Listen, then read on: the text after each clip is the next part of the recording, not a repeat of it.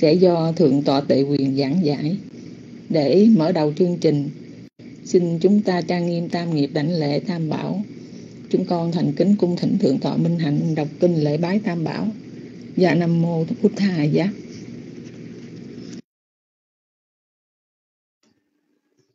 nhất tâm định lễ đức như lai bậc ứng cúng chánh biến tri minh hạnh túc thiện thể thế gian dạy vô thượng điều ngự thiên nhân sư phật thế tôn. Nhất tâm lĩnh lễ chánh pháp do phật thiện thuyết thiết thực hiện tiền vượt ngoài thời gian đến để chứng nghiệm hiệu năng hướng thượng trí giả thân chứng. Nhất tâm lĩnh lễ chư tăng đệ tử thế tôn bậc diệu hạnh trật hạnh như lý hạnh, chân chánh hạnh, gồm bốn đôi tám vị đáng nhận lễ phẩm, tặng phẩm, tế phẩm, kính lễ là phước điền vô thượng trong đời nguyện cầu với đức phật bảo nguyện cầu với đức pháp bảo nguyện cầu với đức tăng bảo xin tam bảo gia hộ ngăn ngừa mọi tai ương những hiện tượng bất tường những mộng mị sâu xa những nghịch duyên trở ngại thải đều mau tan biến Nguyện muôn loài chúng sanh, người khổ xin hết khổ, người sợ hết hãi người sầu hết sầu bi. Biết cho với niềm tin, biết hỗ trì giới hạnh, biết lạc trú trong thiện. Chư thiên đã vân tập xin tùy hỷ phước lành được các tường như ý rồi phản hồi thiên sứ. Chư toàn giác đại lực, chư độc giác đại lực, thinh văn giác đại lực, nguyện tổng trì uy đức, cầu phục lành phát sanh.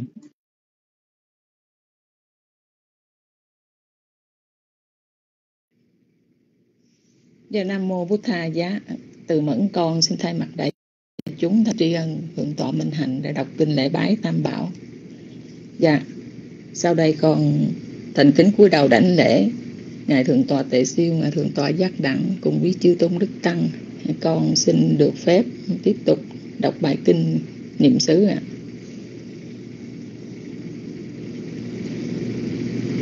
Số 10 Kinh Niệm xứ sati Satipatthana Sutta Phân đoạn 054 Quán Tâm. Sở dĩ gọi là kinh niệm xứ Satipatthana Nasutta vì là pháp thoại của Đức Phật, có nội dung dạy tứ niệm xứ trong chánh tạng Bali. Bài kinh mang tên Maha Satipatthana Sutta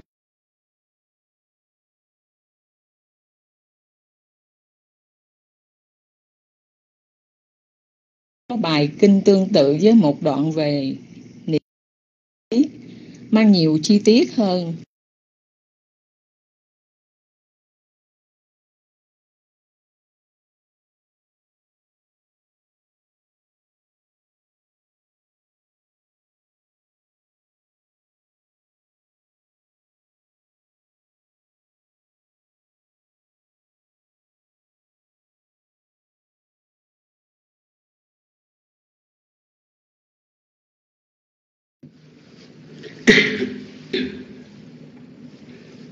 anh đã vô của thầy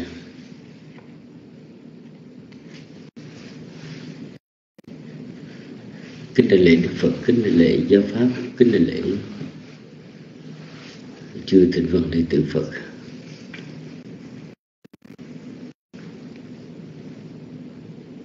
Kính thưa quý vị, hôm nay chúng tôi cứ nghĩ rằng là sinh hoạt ở trong rừng có sự thật chút. Không có cần dẫn nhập. Nhưng cuối cùng thì quý vị có mời. Thì chúng tôi cũng nói qua chút.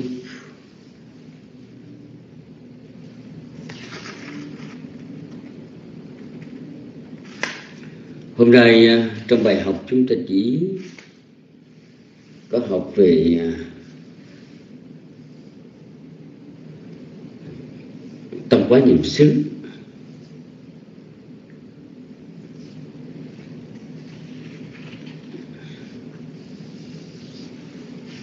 Tâm quá niệm xứ là một trong bốn niệm xứ. Quán thân trên thân, quán thọ trên các cảm thọ. Quán tâm trên các tâm. Quán pháp trên các pháp.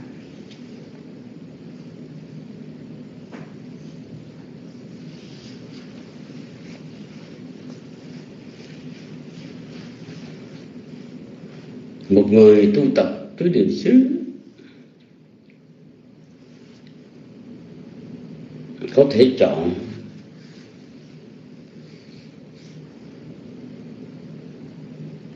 Đề mục nào trong bốn đề mục đó cũng được. Hoặc là chọn một cái đề mục chính. Chẳng hạn như là quán thân niệm hơi thở đang trong lúc niệm hơi thở.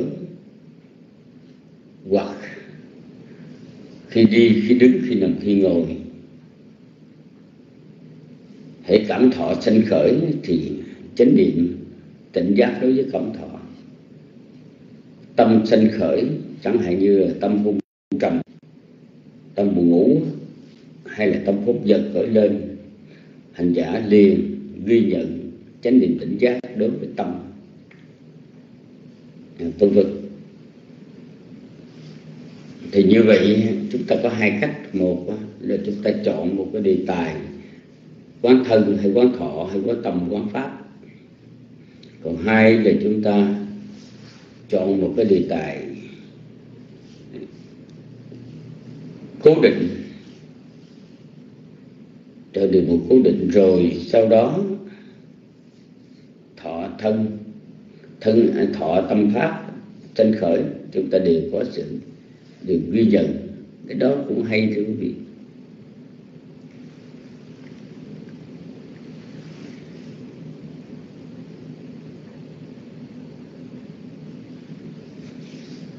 Và ở đây, trong cái bài học này thì à, chúng ta học quán tâm. Bài kinh niệm xứ rất là dài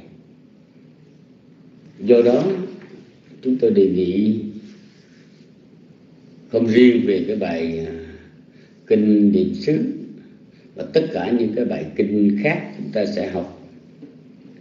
Hãy phân làm nhiều đoạn. Mỗi một ngày như vậy chúng ta học đến đoạn nào thì chúng ta sẽ đọc ngay cái đoạn đó thôi. Chứ chúng ta đừng có đọc lại ngay từ đầu.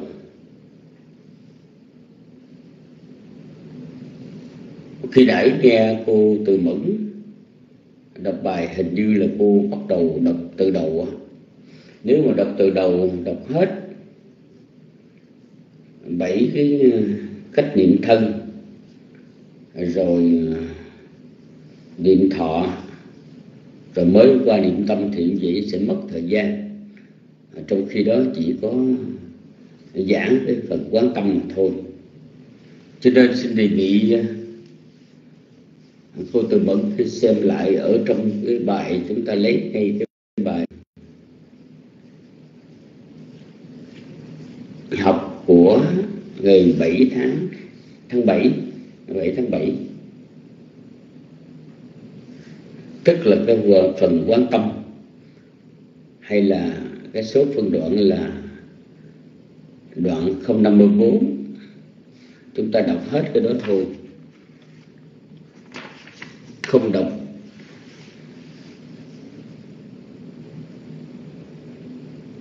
không muốn mười. Và chúng ta đọc hết cái đó chứ không có cần đọc thêm, không năm mươi lăm.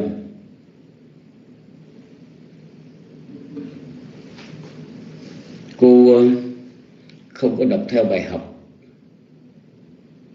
theo cái bài nhật hành mà trong cái bài nhật hành đó được phân đoạn ra, cô ra cái số cái số đoạn phân đoạn 054 và cô bắt đầu đọc từ đó. Tâm quán niệm xứ là một trong bốn pháp niệm xứ. Cô đọc từ đó. Như vậy không có mất nhiều thời gian. Và bây giờ thì mời cô từ mẫn trở lại với trách nhiệm đọc bài. Rồi sau đó xin cung thỉnh thượng tọa tùy quyền vị à, giảng sư của chương trình hôm nay à, thuyết giảng cho phần kinh niệm xứ, quán à, tâm quán niệm xứ. Nam mô bổn thầy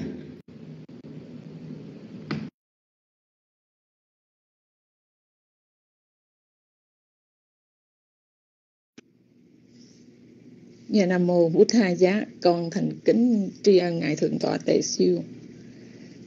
Dạ sau đây con tiếp tục và đọc bài 054 Quán Tâm. Tâm quán niệm xứ là một trong bốn pháp niệm xứ. Mặc dù trong kinh văn mô tả không dài, Nhưng trên phương diện thực hành thì rất tế nhị.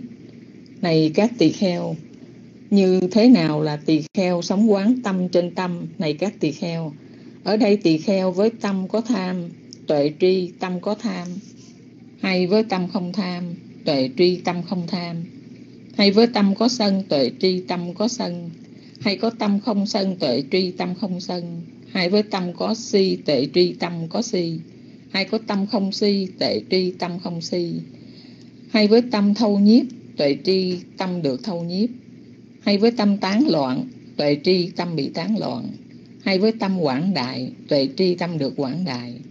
Hay với tâm không quảng đại, tuệ tri tâm không được quảng đại. Hay với tâm hữu hạn, tuệ tri tâm hữu hạn.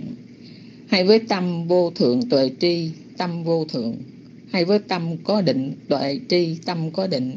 Hay với tâm không định, tuệ tri tâm không định. Hay với tâm giải thoát, tuệ tri tâm có giải thoát. Hay với tâm không giải thoát, tuệ tri tâm không giải thoát như vậy, vị ấy sống quán tâm trên nội tâm hay sống quán tâm trên ngoại tâm? Hay sống quán tâm trên nội tâm, ngoại tâm? Hay sống quán tánh sanh khởi tâm? Hay sống quán tánh diệt trên tâm? Hay sống quán tánh sanh diệt trên tâm? Có tâm đây, vị ấy sống an trú chánh niệm như vậy với hy vọng hướng đến chánh trí, chánh niệm.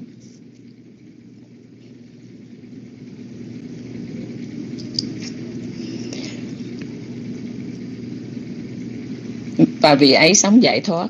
Như vậy vị ấy sống quán tâm trên nội tâm hay sống quán tâm trên ngoại tâm, hay sống quán tâm trên nội tâm, ngoại tâm, hay sống quán tánh sanh khởi trên tâm, hay sống quán tánh diệt tận trên tâm, hay sống quán tánh sanh diệt trên tâm. Có tâm đây vị ấy sống an trú chánh niệm như vậy với hy vọng hướng đến chánh trí, chánh niệm. Và vị ấy sống không nương tựa, không chấp trước một vật gì trên đời này các tỳ kheo như vậy là tỳ kheo sống quán tâm trên tâm, biết rõ nội dung bằng sự ghi nhận, khách quan không liên hệ đến ngã chấp. Thí dụ tâm có định, biết rõ tâm có định chứ không nghĩ ờ, tôi có định hay tôi không có định. Ghi nhận cả hai mặt của tâm. Có tham hay không tham, chỉ đơn giản là sự tương phản không có gì phải hành hãnh diện hay bực bội. Cho dù tâm ở trạng thái nào chỉ ghi nhận để nuôi dưỡng chánh niệm chứ không có ý tạo nên trạng thái này, trạng thái kia, ghi nhận biết rõ một cách đơn thuần. Mỗi lần chỉ một thứ tâm hiện hữu, tâm ham muốn và chánh niệm thấy được tâm ham muốn có thể làm hành giả bối rối, kỳ thật. Thì khi quán sát tâm thì trạng thái bị quán sát thường biến mất trong khoảnh khắc trước giờ thành cảnh vừa qua. Với hành giả, tu tứ niệm xứ thì cái gì cũng vừa biến mất, giống như trong ngữ pháp, là quá khứ hoàn thành hay quá khứ tiếp diễn cũng nằm trong khung thời gian hiện tại. Ba trường hợp thường được các vị thiền sư hướng dẫn về tâm quán niệm xứ. A. Quán tâm khi một tập niệm xuất hiện, đang niệm hơi thở bất chợt một suy nghĩ về việc gì đó, việc gì đó hiện khởi. Hành giả ghi nhận phóng tâm và nhanh chóng trở về với hơi thở hay đề mục đang niệm. B. Quán tâm với sự ghi nhận rõ ý định, danh và hành động sắc. Thí dụ đang ngồi thiền muốn đứng dậy đi nhà vệ sinh thì hành giả cần ghi nhận ý định trước khi chuyển đổi tư thế từ ngồi sang đứng dậy. C. Quán tâm là ý thức được khuynh hướng của tâm trong một ngày hay một giai đoạn nào đó như ý thức. Lúc này tâm thường nghĩ nhiều về công việc hoặc tâm thường nghĩ về hận thù quan trái. Giống như thọ quán niệm xứ, tâm quán niệm xứ thường được áp dụng chung với những bài pháp khác như niệm hơi thở. Ở giai đoạn sơ cơ hành giả thường được dạy về thân quán niệm xứ như đối tượng quán sát, căn bản cho đến khi những tập niệm xuất hiện. Thì quán sát tâm những, nhưng cần nhanh chóng trở về với hơi thở phải rất cẩn trọng. Để sự quán sát tâm không dẫn hành giả đi quá xa đề mục niệm chính. Niệm tâm cũng liên hệ tới phân biệt danh sắc danh là tâm sắc, là thân, phân biệt danh sắc để thấy rõ tương quan giữa ý định và hành động. Với chánh niệm sắc xảo hành giả cũng nhận ra nhu cầu của tâm là phiền não, chứ không nhất thiết là nhu cầu của thân.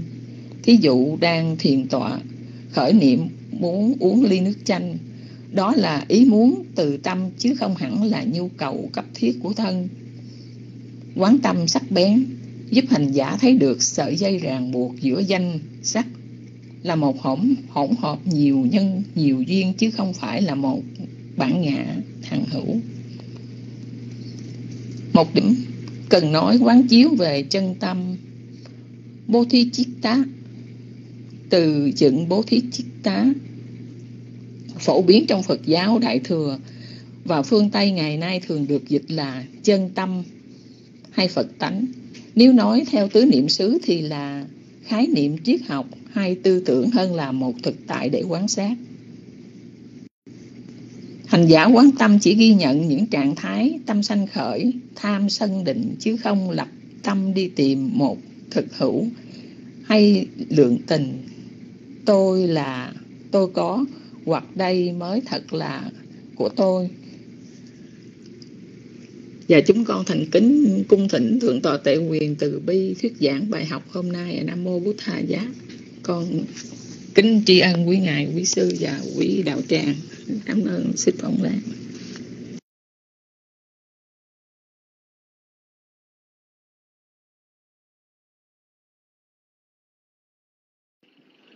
nam mô bổn tha giá nam mô bút tha giá nam mô kính lễ đến uh, chư tôn đức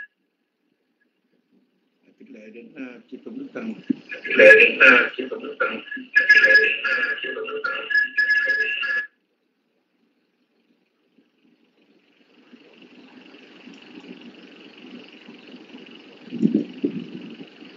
xin mời vị chờ trong à, để chúng tôi nhờ đệ tử nó chạy vào để ờ, chỉnh lại cái mic thì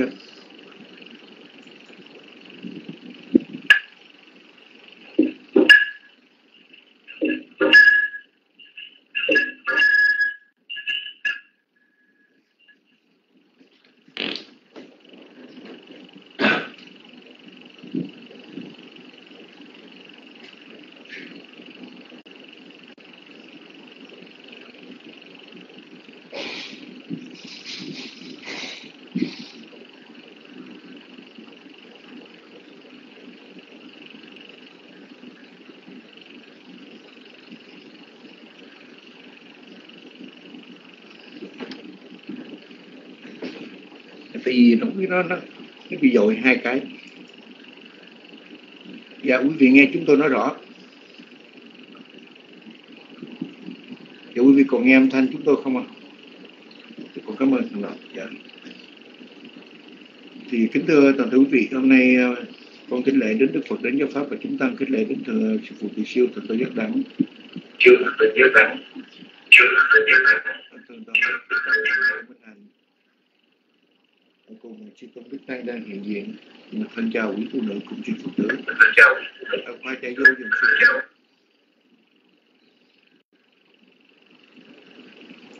kính thưa toàn thể quý vị chúng ta à, có thể nói rằng là học cái bài kinh tứ niệm xứ không là lạ. À, nhưng điều mà phải nói rằng để hiểu một bài kinh tứ niệm xứ một cách uh, tốt đẹp một cách chuẩn xác thì đó là một vấn đề mà ta dẫu cho chúng ta có học nhiều lần. Chúng ta có nghe nhiều lần và nó cũng rất là rất là căn bản, rất là tốt đẹp. Bởi vì có thể nói rằng nó chính là một cái cái thể tài mà chúng ta, mà chúng ta học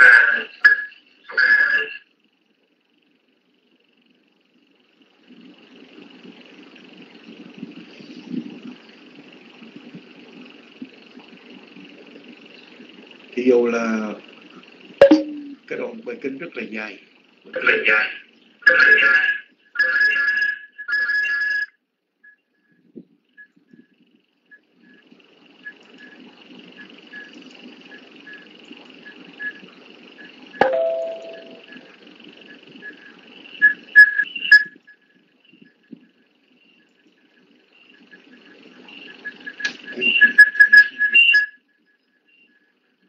Cho nên uh, cho nên uh,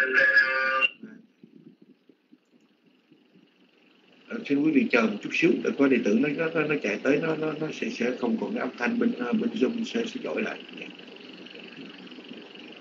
Mình chỉnh rồi, nhưng mình quên cái này.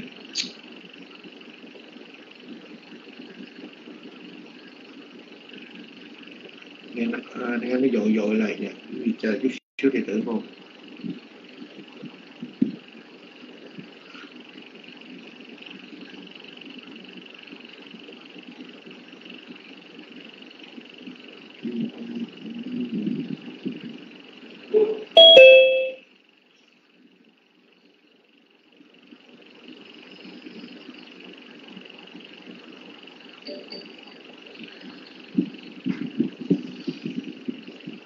các âm thanh của zoom mất không? cho nên là chỉ mất chưa làm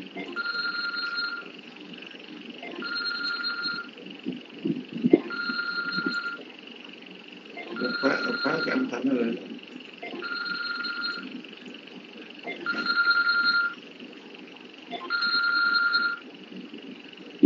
kéo đi chị chị chỉnh được không chị biết rằng chúng tôi đang nghe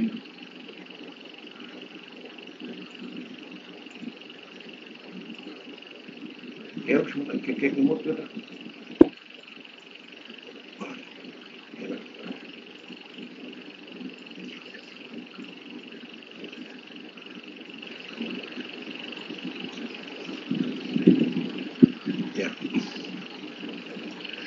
Dạ giờ, giờ, bây giờ có lẽ quý vị chắc đã nghe rõ. còn xin sớm hối chưa tăng câu lời để chúng. Dạ. Cũng quên nó chỉnh qua hai ba thứ nhưng mà đệ tử nó biết cách thì nó dễ hơn chứ đi vài bước thì, thì dễ rồi giờ quý vị nghe rõ chưa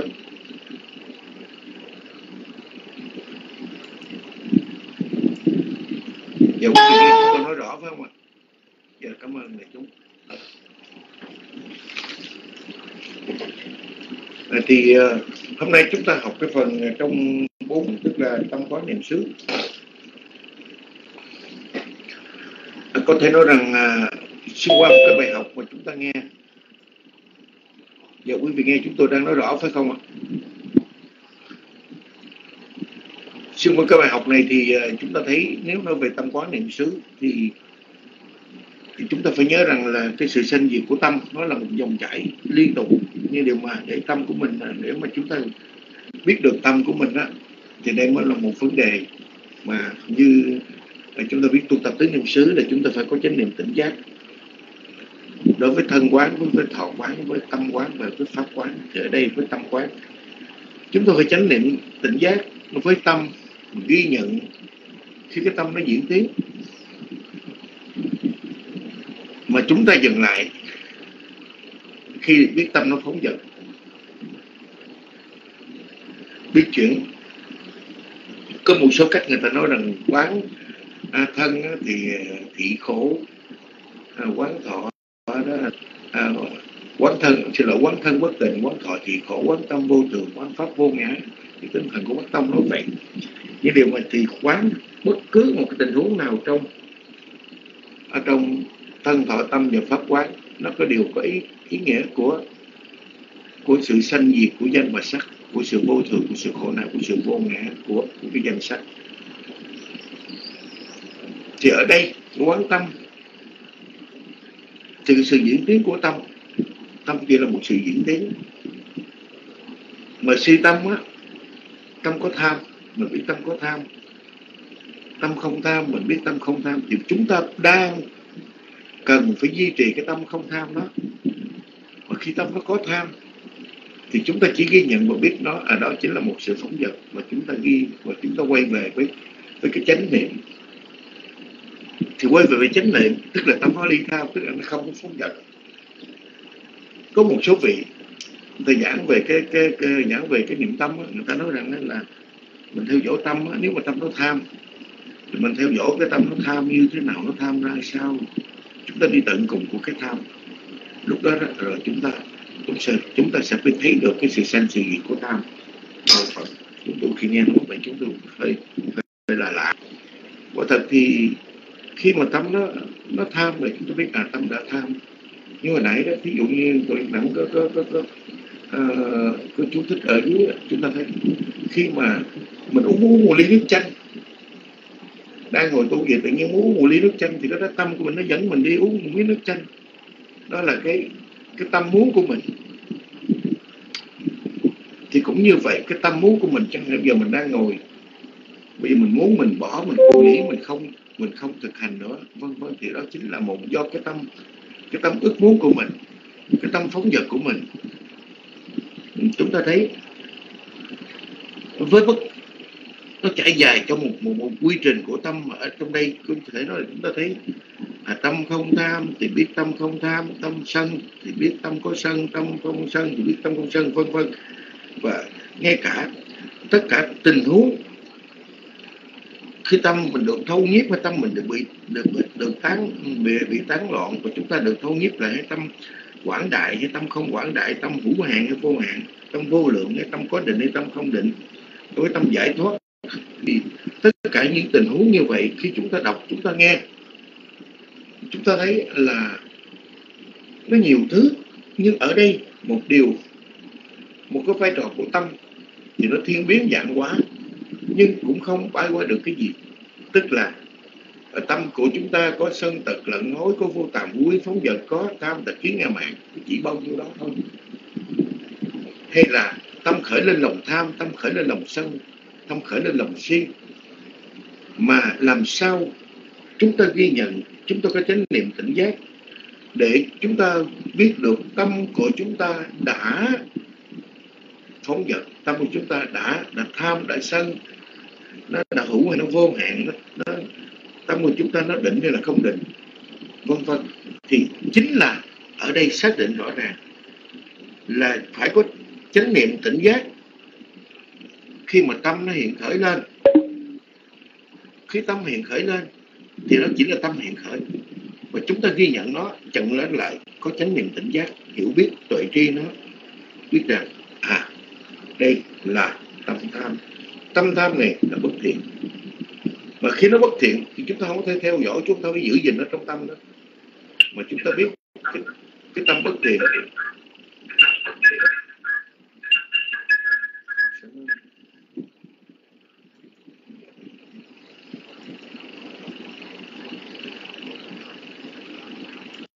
thì khi tâm bất thiện thì chúng ta biết nó nó là bất thiện. Cái tình huống như vậy, quý vị nghe chúng tôi nói lại rõ mà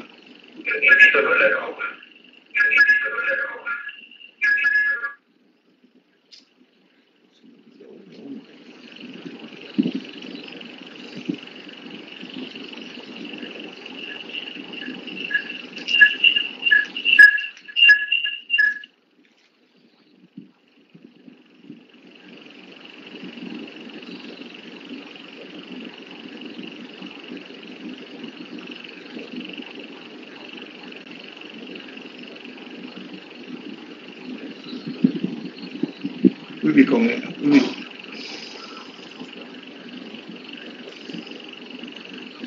Con chỉnh là cái số kỳ chỉnh là cái số kỳ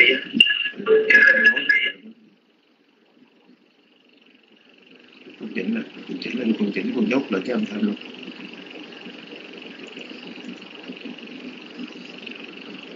không có đâu hả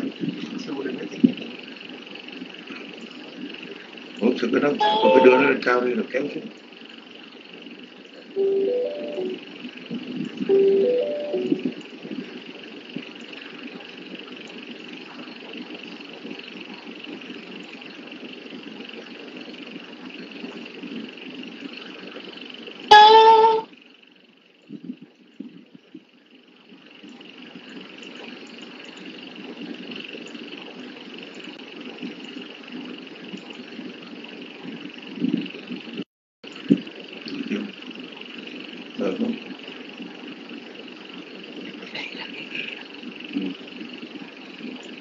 chết rồi xong được rồi dạ. rồi cảm ơn con rồi quý nghe quý vị nghe rõ lại chưa? Quý vị nghe chúng tôi nói rõ lại.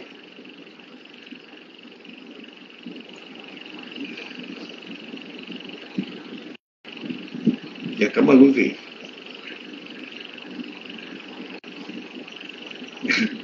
Thì um, có thể nói rằng là chúng ta thấy cái tâm của mình đó, nó là một sự diễn tiến nó diễn tiến đi theo tâm chúng ta nhìn thấy nó, chứ không phải chúng ta chúng ta chúng ta cho nó coi như là à, chúng ta đi theo nó để để để coi nó khởi sanh.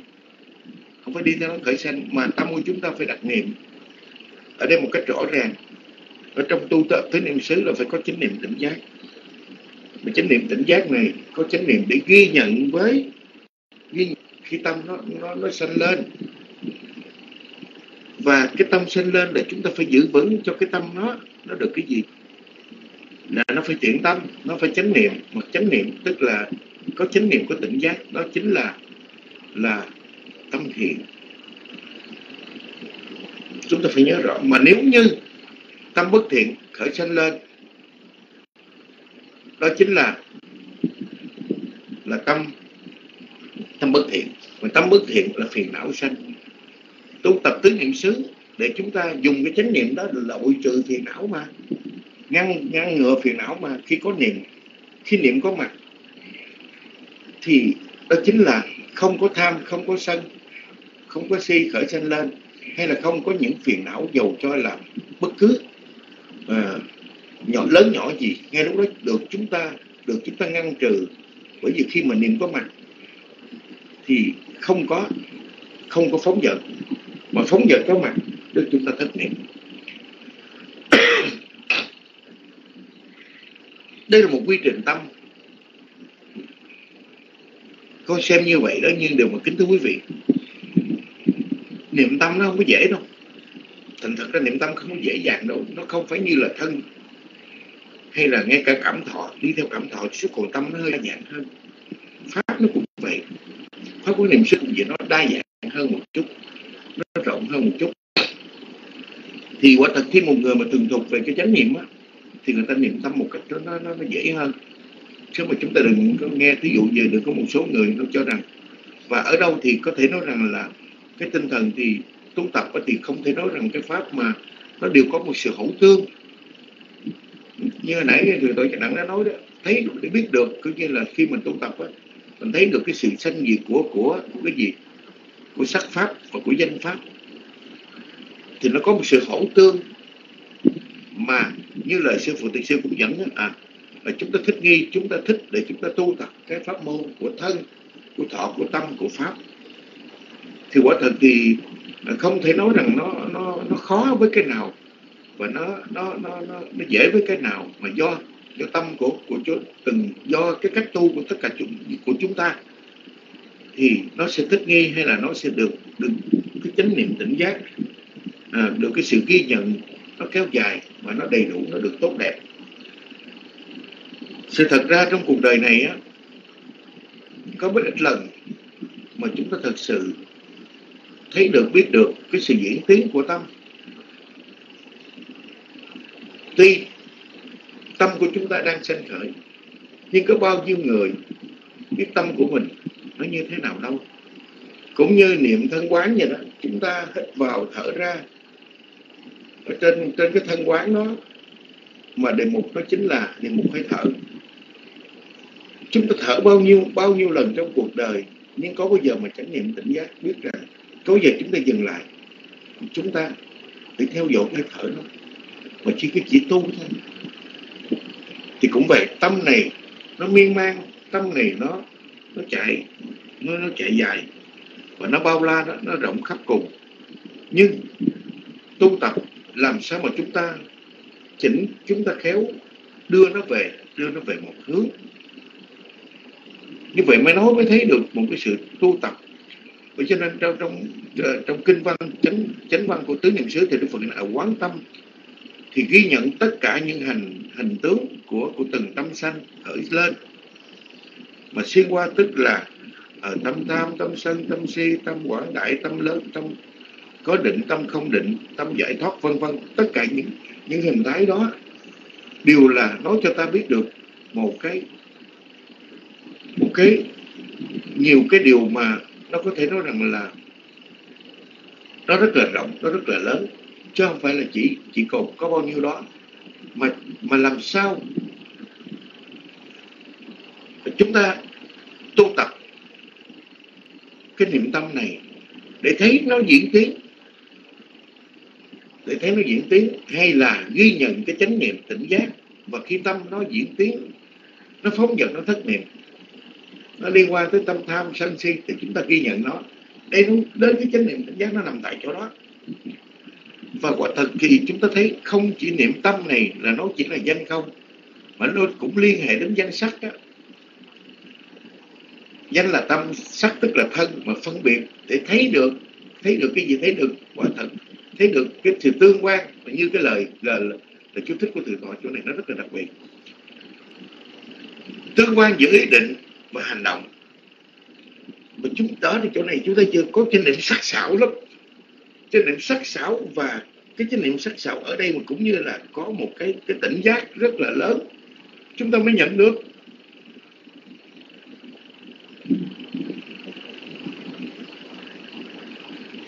Chúng ta mới nhận được thì ở đó như lời chúng tôi nói nó có sự tương quan nó cũng phải có cái thân trong đó. Nhưng điều mà ở đây nó thuộc về về thể tài của dân mà chúng ta thấy nó nó rõ ràng. Cho nên không phải mà chúng tôi chúng ta niệm chúng ta muốn niệm nói rằng niệm về tâm. Thì nó đi một cách tức là bình thường à, dễ mà tâm nó khởi lên như thế nào thì tôi ghi nhận nó như thế đó. Không thể nói như vậy. Cái đúng trên chánh niệm là mình ghi nhận nó như thế đó. Nhưng phải ghi nhận như thế nào. Và khi nó biến diễn, nó xảy ra mà chúng ta phải quay và chúng ta làm sao mà quay về với chánh niệm mà có tỉnh giác, tiếp tục tỉnh giác. Thì xin xác định, khi có tỉnh giác chánh niệm, thì ở đó, tức là phải là thiện, phải là tâm vô tham, tâm vô sân, tâm vô si. Hay là tâm ly tham, tâm ly sân, tâm ly si, tức tâm không có bị tham, sân si, nó chi phối.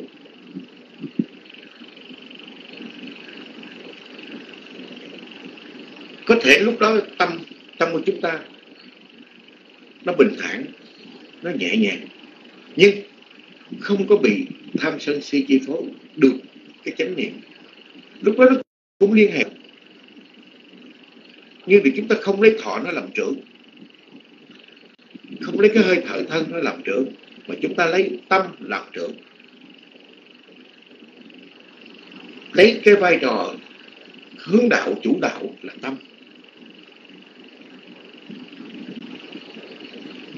Cái chỗ này là là chúng ta chúng ta thấy cái cái tâm quán niệm xứ nó đâu có đơn giản đâu quý vị bởi vì à, khi thọ thì trạng thái vui buồn trạng thái không vừa lòng hay không vừa lòng vì ấy biết rõ cảm thọ à, khổ. Khổ thọ vui có nhiều tình huống vì ấy tệ tri. Nhưng ở đây cái tâm nghe thấy như vậy đó à, tâm tham tâm sân tâm si tâm quảng đại tâm không quảng đại rồi tâm định hay tâm không có định. Không có đơn giản. Chúng ta ngồi nhưng điều mà kính thưa quý vị khi chúng ta ngồi chúng ta có niệm thì tất cả nó như là một cái sự bảo hộ nó như một cái sự đơn giản mọi việc rồi làm cho tâm của mình nó không có bay nhảy nó không có lung tung lan tan nữa. Thì lúc đó lúc đó đó thì có thể nói rằng tâm của vị ấy an trú trong trong vô tham vô sân, trong vô si là tâm không có có khởi sanh lên, tham sân si. Mà tâm của vị ấy an trú ở trong ở trong ở trong tâm không tham. Hay là an trú trong trong cái chánh niệm, cái tỉnh giác. Chứ không có để nó chạy miên man, nó đi từ hướng này qua hướng nọ. Và sự tu tập của của tất cả chúng ta nó được thành tựu hay không thành tựu là do tâm của mình.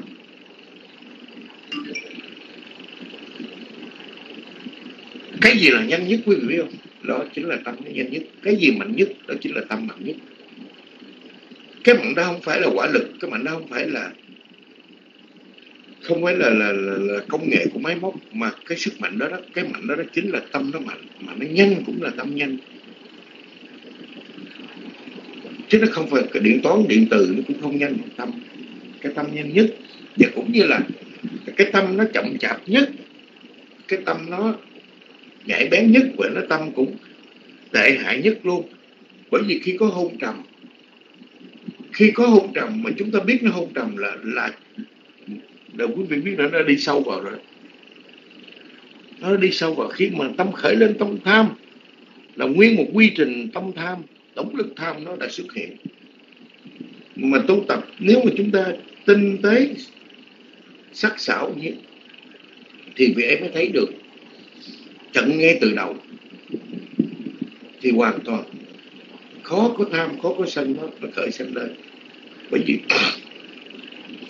bây giờ khi mà đối với vị mà tu tập về cái thiền quán về tứ niệm xứ nó cần cái nơi yên tĩnh cần cái nơi mà ít có tiếp xúc ít có ồn ào để cho tâm của vị vị đó. Vậy cho nên, đây là ngôi nhà vắng, đây là cội cây, đây là ngôi nhà vắng. Cái giá trị độc cư, cái giá trị đơn độc như vậy để chúng ta tự mình đối diện với chính mình. Đối diện diện với chính mình đó chính đối diện với tâm mình. Quay về với chính mình, tức là quay về để thấy được cái tâm của mình. Khi chúng tôi đã nói chúng ta bao lần chúng ta biết cái tâm của mình ít lắm. Ít bao lần biết cái tâm của mình lắm. Mà khi chúng ta biết cái tâm của mình người nào biết tâm của mình thì người đó mới biết mới tu. Biết cái tâm của mình cái tâm nó như thế nào? Nếu như đó là cái điều này tâm tốt thì chúng ta à, biết đây là tâm tốt. Cho nên vì ấy tuệ tri và có chánh niệm tỉnh giác giữ gìn cái tâm đó nó tồn tại. Duy trì giữ gìn cho cái tâm đó nó tồn tại. Chẳng hạn như là giữ gìn cái tâm chánh niệm có chánh niệm có tỉnh giác. Mà đời sống có chánh niệm tỉnh giác là một đời sống cao cả. Đời sống có chánh niệm tỉnh giác nó, nó lâu nó dài mới có đủ sức mạnh, mới có đủ khả năng để sát trừ, để đối diện, để sát trừ. Trước nhất là nó ngăn ngừa phiền não. Khi mà vòng đai mình có được chánh niệm tỉnh giác, có cái được đặc niệm á, thì mà giật. Giật phiền não nó không tấn công được. Mà khi mà chúng ta giữ gìn, mà chúng ta xây cái thành kiên cố sẽ cái thành chánh niệm và tỉnh giác nó được kiên cố nó được mạnh mẽ. Thì ngay khi đó đó chúng ta mới xuyên thủng chúng ta mới tấn công kẻ thù. Khi chúng ta giết chết kẻ thù và đó chính là cái phiền não. Mà khi tu tập một cách dài một cách lâu hay là người nào mà tu tập có một có một cái cái cái cái cái cái, cái, cái tuệ căn hay là có một cái cái phước báo từ tiền thân mà chúng ta gọi là đầy đủ ba la mật. Thì người ấy tu tập trong một tuần trong bảy tuần trong bảy tháng trong bảy năm chắc chắn sẽ chứng đắc. Thánh đạo giải thoát. Hay là chắc chắn họ sẽ diệt trừ được phiền não. Còn tại sao người mà, mà tu hoài mà không được? Quả thật có một số người người ta tu cũng tinh tấn. Người ta cũng tu nó phải nói rằng hết sức mạnh mẽ. Những điều mà cái yếu tố động lực của tâm, cái chánh niệm tỉnh giác nó không có nuôi dưỡng một cách dài đâu được. Hay là vị ấy chưa độ thành, chưa đầy đủ pháp độ, thì cái yếu tố để thành tựu, yếu tố để thành tựu nó không được, nó không có. Mà khi nó không có như vậy thì kính thưa quý vị, là chúng ta rất là rất là rất là yếu. Cho nên vì vậy, để mà được thành tựu nó đó chứ chúng ta hội đủ yếu tố hội đủ cái điều kiện. Mà khi hội đủ yếu tố hội đủ điều kiện thì chắc chắn rằng chúng ta mới thành tựu.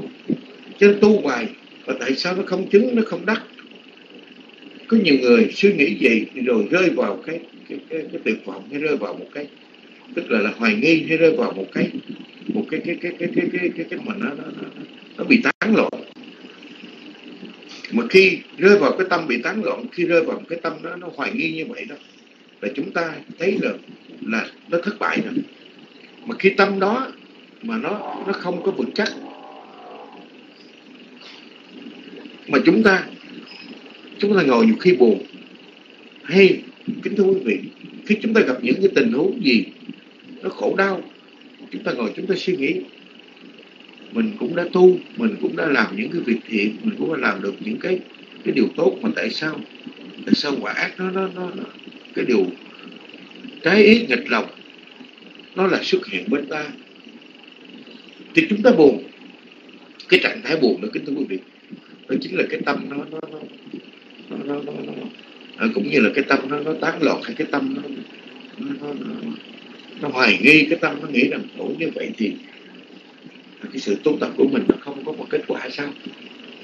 Hay là cái việc làm thiện của mình nó chưa nó nó nó nó, nó, nó không có có cái, cái quả thiện nó trả lại sao? Thì cái tâm hoài nghi đó đó. Thì chúng ta hoài nghi đó cái nhân quả đó. và chúng ta không vững bước chúng ta không vững chắc. Và nói như vậy thì ở đó tâm của con người thì không có cái tâm không có cái tâm định mà cũng không có cái tâm coi như là là là là, là, là tinh cần tinh tấn. Thì chính ở đây người ấy thiếu trí tuệ và không hiểu rõ nhân quả, không hiểu rõ tâm một cách chuẩn xác và ấy không biết cách tiến trình của tâm. Sự thật các mà nói thì những chuyện buồn vui, những cái chuyện thành bại, những cái chuyện được thua thành bại tốt xấu trong cuộc đời, đều do duyên, đều do nghiệp đó nó khởi sanh lên. Thì giờ đây, cái sự tu tập là dùng tâm của chúng ta đối diện với cái cái khó chịu.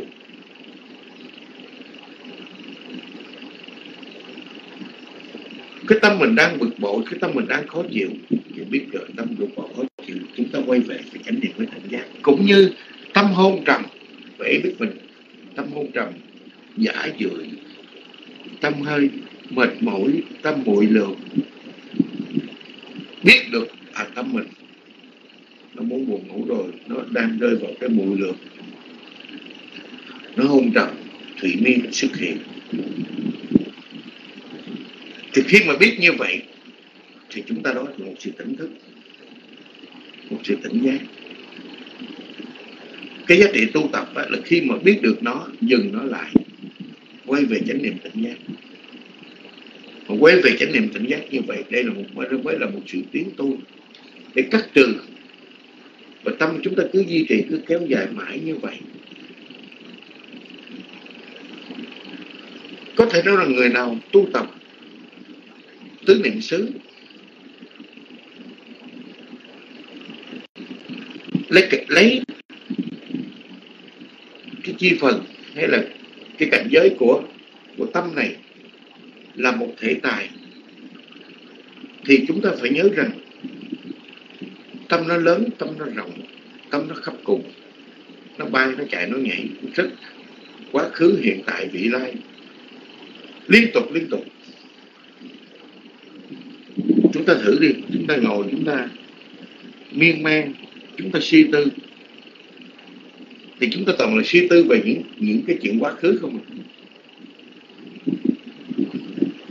quá thật quá khứ mà, quá khứ hoàn thành hay là hiện tại tiến triển này mà nó coi như là nó suy về cái quá khứ.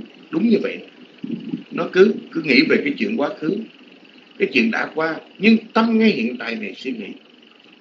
Cái đó cũng là không được.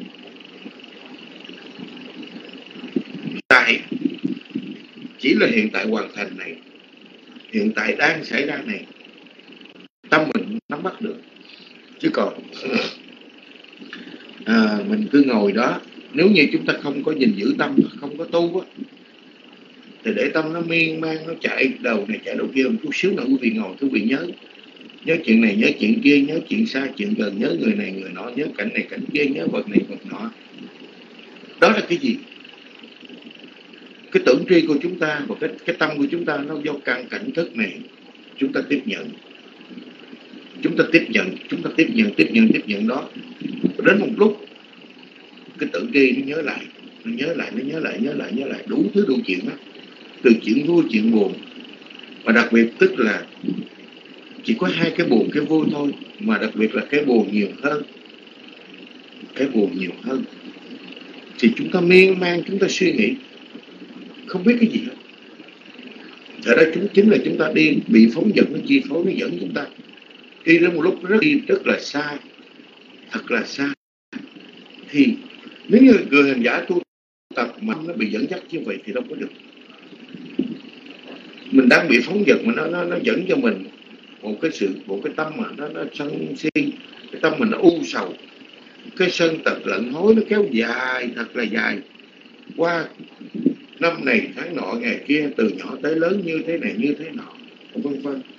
Và khi đó, khi chúng ta nhớ lại những chuyện không vui, thì chúng ta buồn, và chúng ta chúng ta bực bội chúng ta khó chịu hay là chúng ta ngồi để chúng ta mong cầu, ước mong với tương lai mình nó sẽ như thế này, nó sẽ như thế kia? Nó được cái này, nó được cái nọ. Thì cái tâm mình dẫn dắt, cái tâm ta muốn đó, cái tâm bị phóng dật đó mà nó có, mà nó có mà nó có tham làm nhân đó, nó có cái gì? Nó có tham dẫn đầu hay nó có sân dẫn đầu? Để tâm của chúng ta bị phóng dật, để tâm của chúng ta bị tán loạn.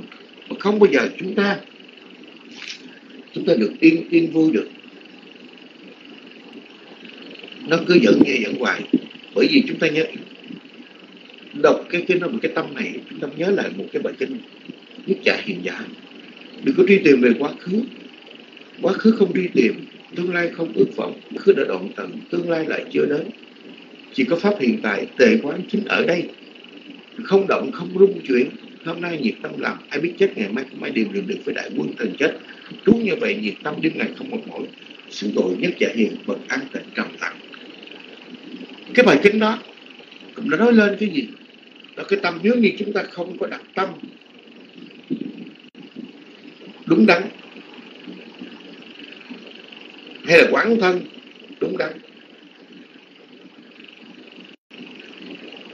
quán tâm đúng đắn, thì chắc chắn rằng quá khứ hiện tại vị lai, quá khứ hiện tại xin lỗi, quá khứ và tương lai nó sẽ xâm nhập. Cái tâm của mình nhớ về quá khứ, ước về mong muốn về tương lai, ước mơ về tương lai, nó sẽ như thế này, nó sẽ như thế nọ. Cũng là sai. Những chuyện gì đang xảy ra, những chuyện tâm của mình.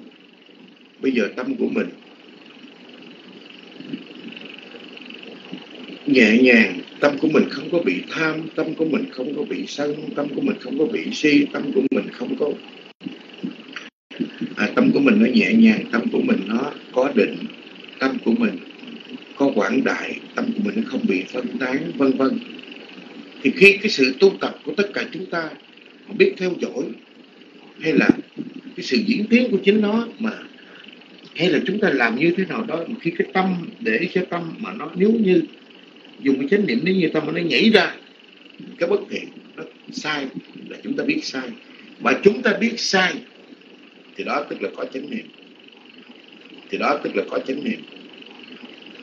Khi biết, khi tâm à biết rằng tâm này tâm phóng dật, thì ngay lúc đó tức là được an lập cái niệm, cái chánh niệm là quay trở về. Chứ còn nếu chúng ta chạy theo nó à, cái suy nghĩ cái suy tư cứ rồi cứ đắm chìm ở trong đó thì kính thưa quý vị là chúng ta bị cái sự chấp chứa của của tâm đau khổ của tâm bất thiện. Sự tu tập của tất cả chúng ta là một quá trình mà tất cả cái sự phân lường đó do chính tự mình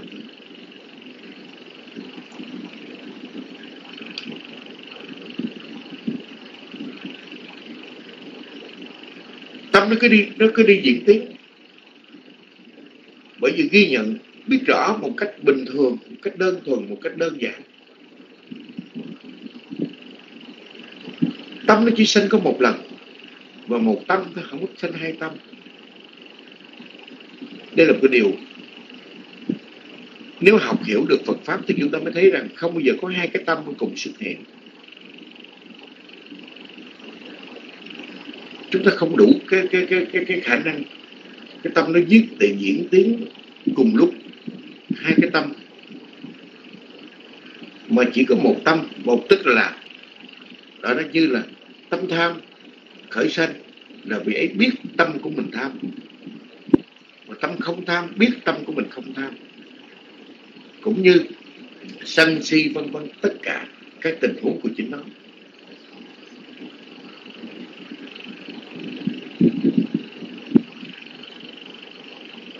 Người tu tập quán tâm là an trú với chánh niệm.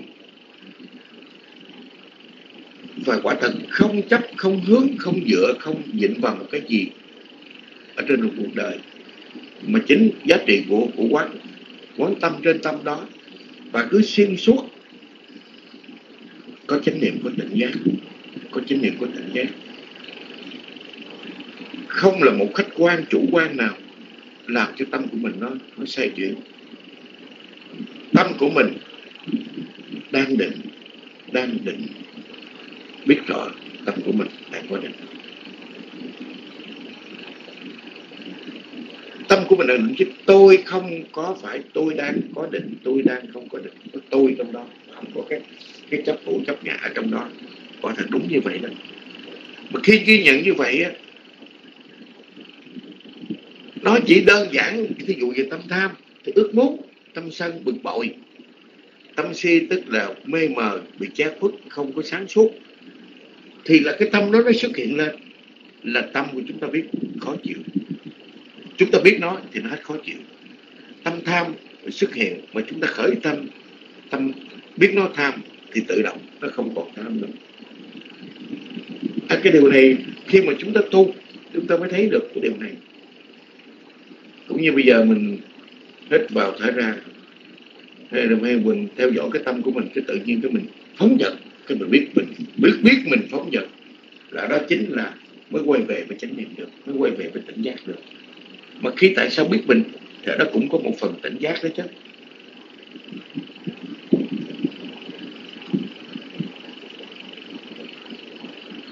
Bởi vì khi mà chúng ta phóng dật xong, trở về với đề mục đang niệm liền mà chính là chúng ta niệm tâm cho nên cái vị hành giả tu tập á, nó rất là đặc biệt khi một người mà tu tập á, nó nó nó thành tựu và nó tốt đẹp rồi thì kính thưa quý vị người ấy không còn cái nói gì nữa cũng chả thèm quan tâm gì cuộc đời ở bên ngoài nữa.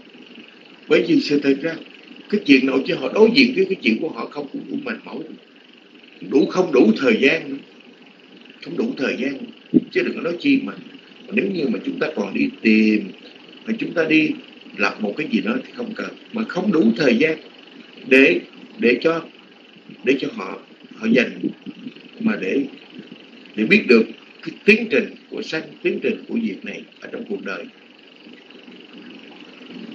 Người tu tập về tâm quán niệm xứ chỉ ghi nhận dùng chánh niệm tỉnh giác với tâm.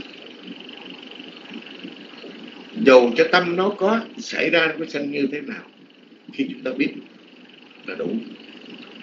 Biết nó biết nó, và chúng ta khi biết nó thì để chúng ta biết rằng mình phải quay về với chánh niệm. Đây chính là cái điều đặc biệt là quay về với chánh niệm.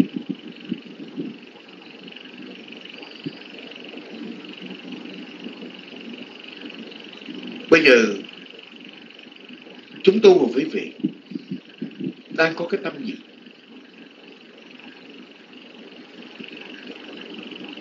Cái tâm đó đó khi chúng tôi vừa nói ra cái tâm của mình là chúng ta là nếu như tu tập á, thì người ta quay về với cái niệm liền. À bây giờ tôi phóng dật hay à bây giờ tôi buồn ngủ hay à bây giờ tôi mệt à? Là cái người không hiểu biết không có chánh niệm. À chứ người biết có chánh niệm thì biết à từ trong lòng họ biết mình đang muốn buồn ngủ. Từ trong lòng mình đang mệt mỏi. Từ trong lòng mình mình đang bực bội, mình đang khó chịu. Không cần phải nói ra. Không cần phải người biết. Bởi chính gì tâm mình mình biết mà. Và chính tâm mình mình biết, chứ mình không biết tâm người. Biết tâm người là không giận cũng chả thèm quan tâm cũng đừng có quan tâm đến cái tâm của người làm cái gì. Bởi vì sao? Sự đời sinh diệt này, sinh tử khổ đau này, mọi người đều có cái nghiệp riêng, đều người đều chịu một cái phần riêng của chính mình. Chứ không ai che chở cho ai, không ai giúp cho ai. Thiện tâm này khởi sinh lên cũng là một mình, mà ác tâm này khởi sinh lên cũng là mình mình chịu với cái nghiệp của mình, ta đi với nghiệp của ta. Đó do chính tâm. Và tâm này, nó là xử lý toàn bộ, giải quyết tất cả mọi việc để cho để cho cái gì? Để cho thân này, để cho khẩu này làm ác hay là làm thiện. Mà khi chúng ta duy trì cái thiện tâm, hay là duy trì có chánh niệm, có tỉnh giác, là tâm này đoạn trừ phiền não, là tâm này ngăn ngừa phiền não để sát trừ phiền não. Nó bắt cầu để dẫn dắt đến cho trí tuệ. Với chánh niệm tỉnh giác sắp biết sanh mới chân nhá mới thấy được, mới thấy được cái sự cái sự vô thường, cái sự khổ não, cái sự vô ngã. Hay thấy được cái sự sanh, sự diệt của của tâm. Một quy trình sanh diệt liên tục liên tục của tâm.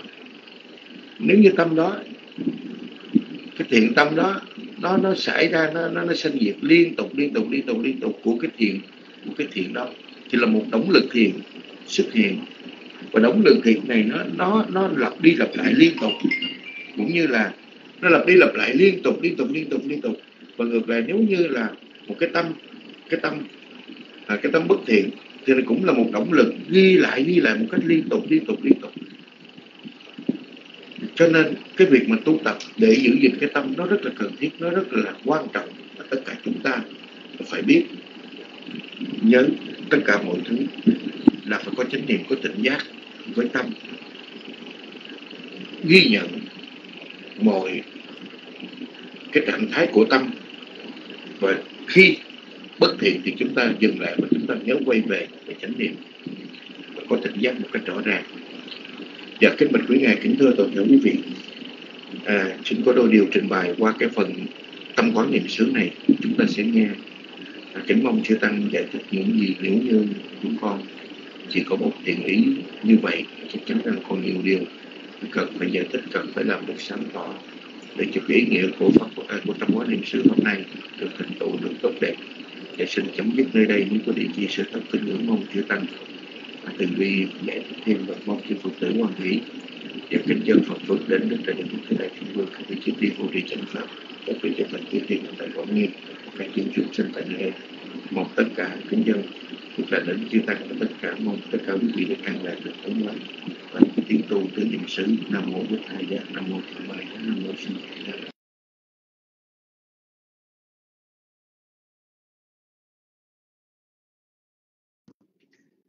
Sa thú ký trừng thưa tọa thủy quyền Bạch thưa tọa thủy siêu thượng tọa có ở trước máy không?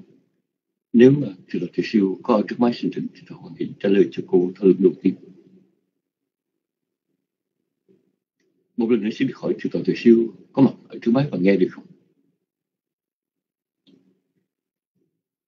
Thượng tọa Pháp đang nghe thượng tọa có nghe được không?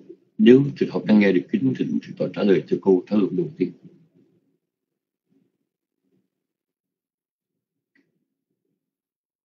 Thượng tọa Pháp Tân nghe. Thượng thọ Tân có ở trước máy không? Nếu mà Thượng thọ Tân đang ở trước máy xin Thượng thọ quan Nghị cho biết. Dạ. Thượng thọ Tân, à, chúng ta biết rằng chánh niệm á, thuộc về tâm. À, chúng ta tạm gọi chánh niệm là một thứ tâm tỉnh giác mà khi chúng ta dùng tâm để ghi nhận tâm thì chắc chắn là nó có một số xáo trộn. Tại vì uh, cũng dùng tâm thức đó mà nó vừa là năng vừa là sở vừa là chánh niệm vừa là đối tượng của chánh niệm thì uh, điều đó nó có nó có dễ dàng cho một người tu tập không? Hay là uh, nó sẽ là một cái uh, nó sẽ là một một điều mà chúng tôi nghĩ rằng uh, bước ban đầu thì chúng ta uh, sẽ gặp nhiều lúng túng khi mà chúng ta ờ, lấy tâm để quán tâm cái thịnh của Phật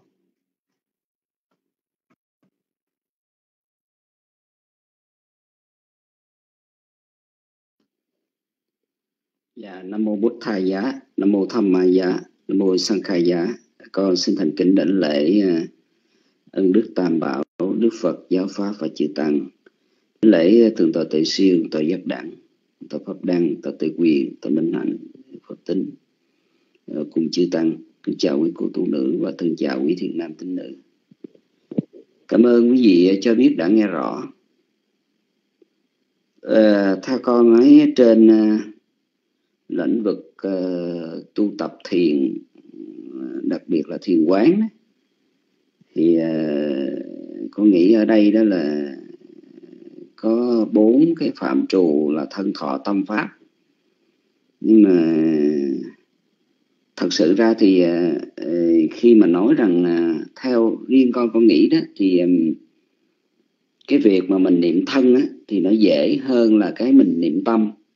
Bởi vì niệm thân á, là các cái quay nghi đi đứng nằm ngồi rồi à, cả luôn cả cái tiểu quay nghi chớp mắt lắc đầu rồi luôn cả cái hơi thở. Thì những cái điều đó, à, thật sự là niệm thân thì có lẽ là mình à, mình mình mình dễ ghi nhận hơn. Còn đằng này đó là dùng tâm để mà quán tâm. Tức là mình phải nhờ uh, cái tâm có chánh niệm. Uh, niệm nó cũng là một phần của tâm thôi. À, là là tâm. Nhưng mà tâm này là tâm có chánh niệm. Thì khi mà mình có chánh niệm tức là mình uh, có cái sự ghi nhận uh, có cái sự biết rõ được cái sự ghi nhận của mình qua cái mà mình ghi nhận về cái cái tâm của mình nó đang sanh như thế nào. Tâm mình đang có tham hay là tâm mình đang có sân hay là tâm mình à, đang có si hay là có uh, mạng kiến nghi gì đó. Uh, hay là tâm mình đang có hôn trầm uh, vân vân. Khi mà mình ghi mình mình có cái sự ghi nhận như vậy thì con nghĩ rằng uh, cái việc này nó cái cái cái cái đề tài này đó cái đề mục này đó thì thật sự ra thì con nghĩ rằng nó hơi hơi khó à, khó cái ghi nhận. Nhưng mà rõ ràng là ừ, cái gì đó à, thì à, cái cái niệm về tâm chánh niệm về tâm là ghi nhận cái tâm của mình lúc mà tâm mình nó sanh khởi mình ghi nhận, mình biết liền thì cái chánh niệm đó nó thật sự là cần thiết lắm. Và nó cần thiết cho cái việc của cái người mà tu tập, đặc biệt là niệm tâm à, tức là ghi nhận cái tâm của mình nó ra sao. À, thật sự ra thì ờ, cái tâm của mình đó thì một người bình thường thì nó sanh diệt liên tục. Cho nên nó nhiều khi mình không thấy những cái sự khoảng khắc ngắn ngủi đó tâm mình nó sanh diệt ở trạng thái này hoặc trạng thái kia đó, mình không có ghi nhận được không biết rõ được. Nhưng mà khi mà một người mà có có có có chánh niệm có chánh niệm mạnh á, thì cái người đó họ họ họ ghi nhận được cái tâm của họ đang sanh ra như thế nào. Ừ. Không phải là cái việc mà mình nghĩ là ừ, lúc mà mình nhận trực nhận ra cái tâm mình đang tham thì nó hàng lọt cái sát na qua cái tâm của mình nó cũng sanh diệt lên sanh diệt liên tục. Và nó có thể rằng qua các cái trạng thái khác nhau ờ, chứ không phải là ờ, lúc nào nó cũng tham không nhưng mà mình mình biết được cái tâm tham của mình là biết cái phản khắc đó thôi. À, nhưng mà rồi nó nó nó sanh khởi liên tục. Có khi thì nó à, nó sân có khi thì nó bị hôn trầm có khi nó bị uh, pháp bất thiện này pháp bất thiện kia nó sanh khởi. Nhưng mà nếu mà một người mà có tu tập cái tâm của mình tức là mình dùng tâm để quán chiếu tâm tức là có chánh niệm tỉnh giác thì mình mới có thể ghi nhận được à, ghi nhận được cái tâm của mình đó Ừ, một tí nó như thế này một tí nó như thế nọ. Nó tham nó sân nó si nó uh, nó nó nó hôn trầm hay là nó uh, như thế này thế nọ đó mình biết được. Nhưng mà cái đó đó phải nói là đòi hỏi một cái người phải có cái cái cái sự chánh niệm nó mạnh à, nó mạnh mới có thể ghi nhận được. Thì con nghĩ rằng um, cái người tu nào cũng vậy đối với cái việc mà tu thiền đó Ờ, mình tập cho cái tâm của mình ờ, khi ở buổi ban đầu đó để rồi nó đi vào một cái nề nếp rõ ràng tức là mình ờ, giữ cái tâm mình bằng phương pháp chánh niệm tỉnh giác á, thì nó khó lắm nó khó lắm và lần lượt thì mình cũng tập tới tập lui rồi rèn luyện á. khi mà mình có rèn luyện như vậy á, thì mình mới mới mới, mới thấy được cái cái cái cái lợi lạc Ờ, của cái việc mà mình ghi nhận đó. Nha những cái việc mà mình ghi nhận đó. Cho nên là một người mà biết cái tâm của mình đang sân thì à, mình trực nhận mình thấy rõ như vậy đó. Thì cái tâm của mình nó, mình nhìn được cái tâm của mình thì cái tâm của mình đó, nó có thể tạm thời nó dừng lại cái cái sự sân hận đó. Hoặc là cái tâm của mình nó tham thì mình nếu mà mình trực nhận được á, thì cái tâm của mình á, ngay lúc đó nó sẽ ờ, chận lại nó không có tham nữa. À, nó không có tham nữa. Cho nên là như chúng tôi đã nói đó là tâm sanh diệt nó liên tục. Nhiều khi mình mình nhận ra thì mình nhận ở một sát na nào đó hay là một khoảng khắc cái thời gian nào đó rất là ngắn ngủi đó là tâm tham. Nhưng mà sự thật ra nó diễn ra rất là nhiều cái trạng thái ở nội tâm mà điều đó, đó chỉ có một người ờ, có cái ờ, chánh niệm tỉnh giác mạnh thì người đó mới có thể rằng rèn luyện cái tâm của mình ờ, mình mới không có thể bị bối rối hay là mình không có thể bị ừ, khó khăn trong cái việc hành trì. Nhưng mà một người mà không có cái chánh niệm được thì rõ ràng là thấy nó, nó khó nó khó lắm. Như theo con con nghĩ rằng mình niệm thân thì nó rất là nó dễ hơn nó dễ hơn so với cái mà mình niệm tâm. Ừ. tại vì ờ, cả cái hơi thở thì nó gắn với lại cái cái ờ, gắn liền với lại cái cái cái cái sự sống của mình cái mạng sống của mình. Rồi cả cái bước đi cái quay nghi đại quay nghi đi đứng nằm ngồi. Rồi ờ, cả cái uh, chớp mắt của mình thì cái phản khắc đó đó nó nó so với như vậy thì nó phải là nó dài hơn so với cái mà mình ghi nhận niệm tâm thì cái người mà niệm niệm thân hay là niệm tâm cũng vậy. Thì đặc biệt là đối với một cái người mà niệm tâm thì cái điều mà mình rèn luyện cái tâm mình ờ, trong mỗi cái sát na để mà mình ghi nhận đó, thì con nghĩ rằng nó thật là khó. Nhưng mà nói như vậy đó thì không phải là mình không làm được. Ờ, mình sẽ làm uh, riết rồi nó cũng có sẽ thuần thục thôi. Mình tu tập riết rồi mình trao dồi riết rồi như là uh, Ờ, cái điều mà Phật dạy giống như là cái người mà mà mà thợ rèn là rèn luyện mình thổi cái ống ờ, ống ống ống bể hơi vô trong cái cái món đồ mình rèn thì mình làm tới làm lui vậy đó. À, kéo tới kéo lui để cho mà có cái cái hơi gió nó thổi vô cái món đồ cái cục kim loại cái miếng kim loại để mình rèn thành cái, cái dao cái rựa gì đó thì mình phải làm đều chứ mình làm mà làm ngưng rồi một thời gian sau mình làm lại cũng như là làm từ đầu thì khó. Nó nó nó cũng khó thành công. Do vậy thì mình làm đều là có nghĩa là mình uh, mình không có ngại cái chuyện mà uh, cái chuyện mà tâm của mình nó nó bị bị phóng đảng hay hoặc là mình thất niệm đi. Uh, mình thất niệm tức là mình sao lại nhãn đi một sao lãng đi một cái cái niệm nào đó uh, trong cái sự ghi nhận của mình. Ờ, thì mình phải làm lại. Mình không có nghĩa là mình bỏ luôn mà mình làm lại. Để cứ làm tới làm lui thì cái tâm của mình nó riết nó sẽ thường thục. Và ờ, à, con nghĩ rằng à, cái niệm tâm ở buổi ban đầu thì nếu một người mà chưa có cái cái sự thuần thục thì rõ ràng nó hơi khó khăn trở ngại hay là bối rối trong cái việc mà mình ghi nhận tâm. À, nhưng mà mình đã thuần thục rồi thì mình rèn luyện nó có thể là dễ dàng tốt hơn. Ừ, vì vậy cho nên là mình mới có được cái sự an lạc ở nội tâm. Thì con xin chia sẻ cái ý của con trong cái câu hỏi mà thượng tọa vừa nêu. Kính thỉnh thượng tọa trở lại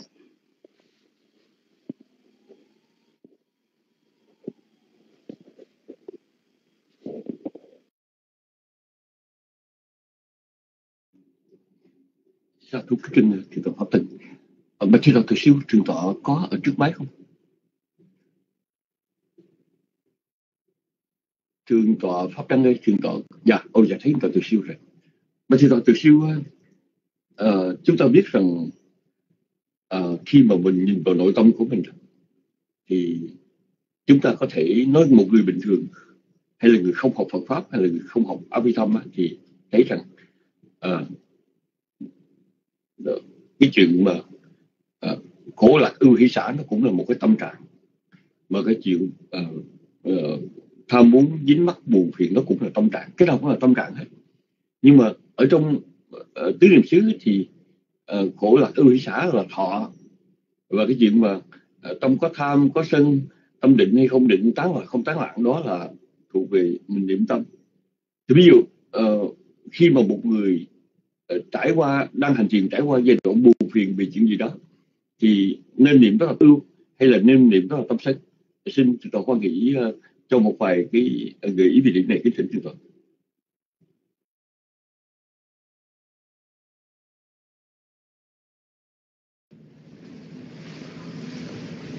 Nam Mô Thầy Kính đại lễ Đức Phật, Giáo Pháp Chư Tăng. Kính đại quý ngài kính thưa quý vị, Phật tử.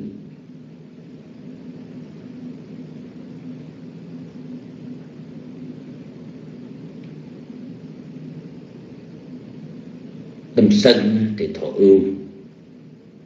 Mà thọ ưu thì chỉ câu hành với tâm sân.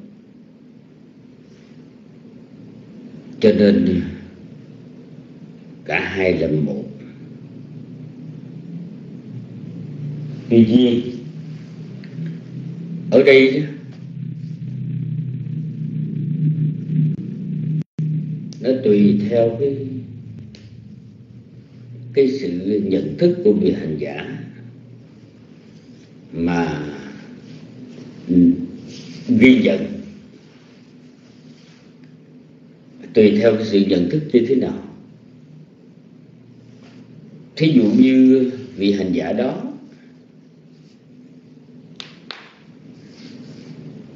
có một cái à, mang cái à, khái niệm về tâm sân tức là khi nào nổi nóng giận, ghét, thì lúc đó họ mới cho được tâm sân. Còn khi mà cái trạng thái buồn rười rượi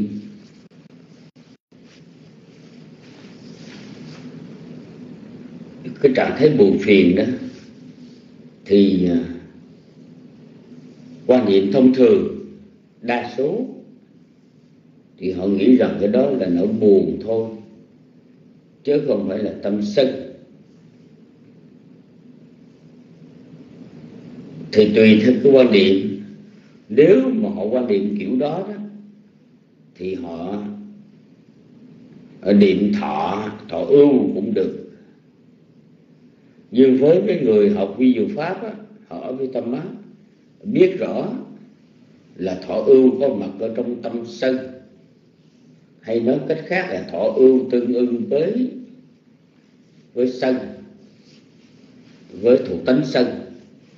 Thì như vậy trong trường hợp này vị hành giả niệm tâm tâm có niệm xứ tâm sân biết là tâm có sân thì trong trường hợp họ hiểu ý nghĩa, chữ sân ở đây đó, có nghĩa là cái trạng thái nóng nảy, cái trạng thái bất an của tâm, bất an thuộc về nội tâm, gọi là chetaska asata, asatang. Thì lúc đó họ mới niệm. Họ niệm tâm tâm sân. Tâm có sân biết, tâm có sân. Biết đây là tâm sân. Cho nên, trong cái câu hỏi thảo luận thường tội giáo đẳng, nêu khi hành giả mang cái tâm trạng buồn bực, thì nên quán chiếu thọ ưu hay là tâm sân? Thì chúng ta nói tùy. Những hành giả nào mà có cái sự à, hiểu biết, tâm buồn bực là tâm sân, thì như vậy người đó sẽ quán niệm về về tâm sân. Còn nếu như một người không có quan niệm vậy mà họ có quan niệm là đâu có giận hờn ai đâu. Chỉ là cái cảm giác buồn phiền thôi. Thì lúc bây giờ nếu như để tránh cái tình trạng nghi ngờ về cái đề mục thì họ nên uh, niệm thọ cho nó nhanh. Cho nên niệm quán niệm được đề mục là thọ ưu, thân quán, thọ quán niệm xứ cũng được. Mà quán niệm về về tâm có sân, thuộc về thân quán, tâm quán niệm xứ cũng được. Đây là ý nghĩa mà chúng tôi xin được giải thích để trả lời cái câu thảo luận số 2 Nam Mô Bích Thầy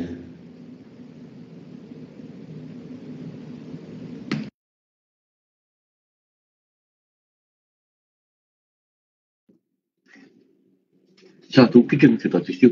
Mà thầy tọa tự siêu có nhiều người tu thiền tứ niệm xứ đó. Thì nghĩ rằng mình chỉ nên nhìn tâm của mình khi nào mình khởi lên tâm phóng dật hay là phiền não như là tham sân. Còn khi mình đang tu mà uh, chánh niệm tốt định tốt thì mình không có cần không có cần ghi nhận. Mình chỉ cần ghi nhận những cái tâm mà nó liên quan đến phiền não thôi. Nhưng mà trong cái phần tâm bó niệm xứ này thì Đức Phật này dạy chúng ta ghi nhận cả hai uh, tâm tham và tâm không có tham tâm sân và tâm không có sân tâm định và không có tâm định. À, tâm tán loạn và tâm không tán loạn ghi nhận cả hai luôn. Thì bây giờ cái câu hỏi tiếp theo là như vậy là thông thường mình có nhiều tham nhiều sân thì nếu mình chánh niệm tham sân thường á thì cái tâm mình nó sẽ bớt đi tham sân. Tại vì à, dùng tham sân nó làm cái cái đối tượng để chánh niệm. Thì khi mà chánh niệm thắp sáng nhiều thì tham sân lại bớt đi. Nhưng mà nếu dùng những như là tâm vô tham hay là tâm có định hay là tâm uh, có niệm vân vân mà mình nhìn nó nhiều á, thì ghi nhận nó nhiều thì nó có làm, nó có làm tan biến đi những cái như là tâm có định không?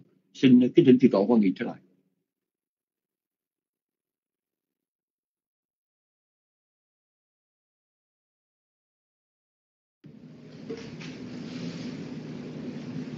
Anh nam mô bích thầy chưa?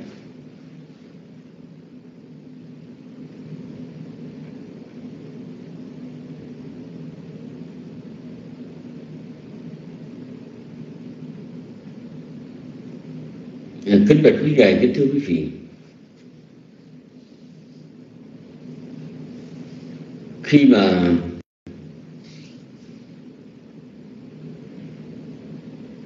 tập chánh niệm,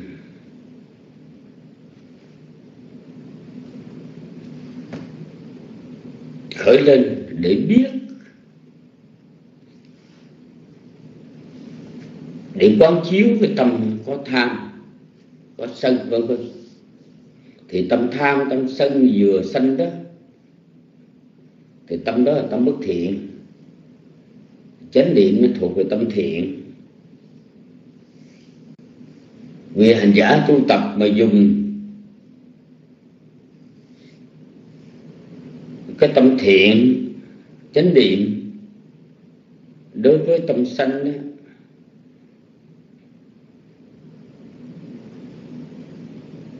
thì do vì chánh niệm nó thuộc về tâm thiện cứ khởi lên suốt cả ngày như vậy đó, thì dần dần cái phiền não tham, phiền não sân nó được giảm thiểu.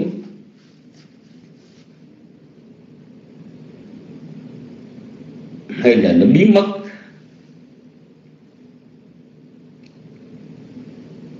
Nhưng mà đối với cái sự quán chiếu tâm, khi mà tâm không tham biết rõ, tâm không biết rõ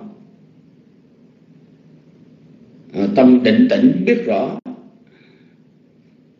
tâm vô thượng, biết rõ, thì trong trường hợp này, cái đối tượng quán niệm là tâm sinh khởi mà nó thuộc về tâm không tham không sân, vân vân. Cái đó là thiện pháp. Cái đó là thiện pháp. Mà hễ là thiện pháp thì chánh niệm cũng là thiện pháp.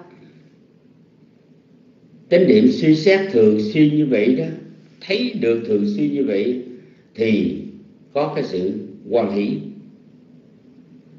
Có cái sự quan hỷ.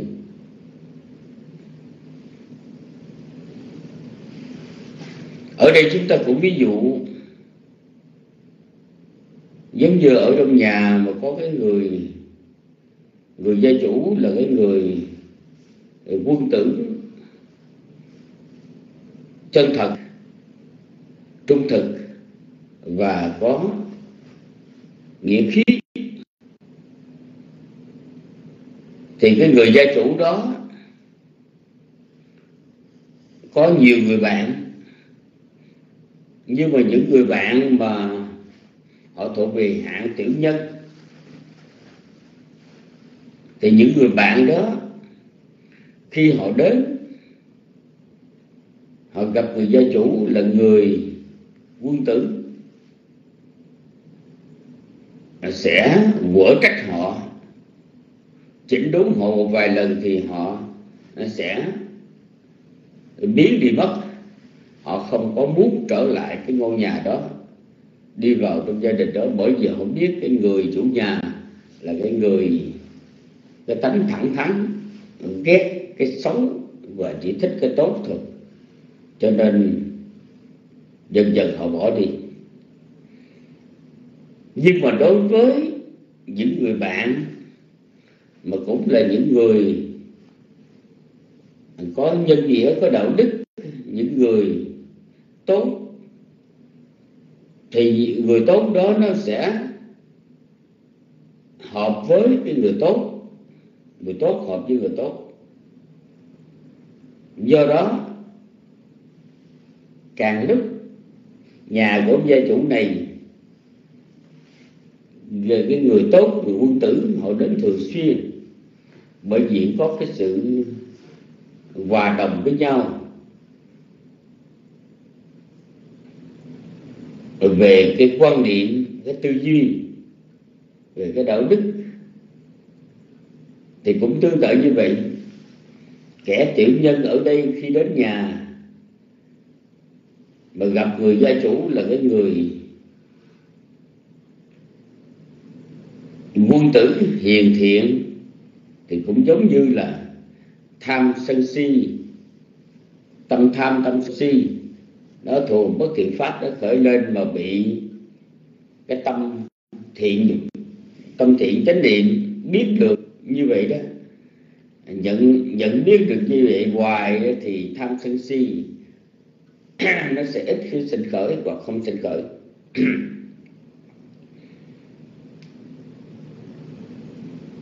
Nhưng nếu tâm thiện sinh khởi, tâm định tĩnh hoặc là cái tâm không tham, tâm vô tham, tâm vô sân, tâm vô si, nó khởi lên vị hành giả sẽ chánh niệm biết được, thì cũng giống như quân tử, tiếp xúc như quân tử vậy đó. Thì ờ, càng lúc, thì chính nhờ những cái đối tượng là những cái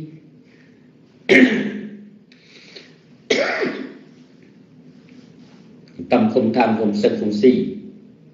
Chính nhờ những cái đối tượng làm cảnh để khiến cho sau khi chánh niệm có cái sự quan hỷ và có sự nỗ lực để duy trì và do đó càng lúc thì cái tâm chánh niệm này nó sẽ dẫn đến chánh định, vân vân. Giờ có chánh tinh chánh tinh tấn cho nên chúng ta yên tâm. Chúng ta đừng nghĩ rằng, hễ mà có chánh niệm biết cái tâm bất thiện vừa sanh, thì sau đó thời gian tâm bất thiện biến mất. Thì sợ e rằng, nếu mà chánh niệm biết cái tâm thiện vừa sanh, tâm định vừa sanh, tâm vô tham vừa sanh, tâm vô sân vừa sanh, sợ biết như vậy e rằng một thời gian sau những cái đệ tâm thiện này nó cũng cuốn gối mà nó đi cũng giống như là tâm tham sân si, không có đâu thưa quý vị. Là bởi vì nó thuộc về phe đảng của thiện pháp. Nó đồng đồng đẳng với cái chánh niệm. Do đó nó phù hợp thì nó làm cho làm cho tăng trưởng. Hoặc thí dụ cũng giống như trường hợp bây giờ đó, người ta trồng cây, người ta bào chế cái loại ờ, thuốc để tưới.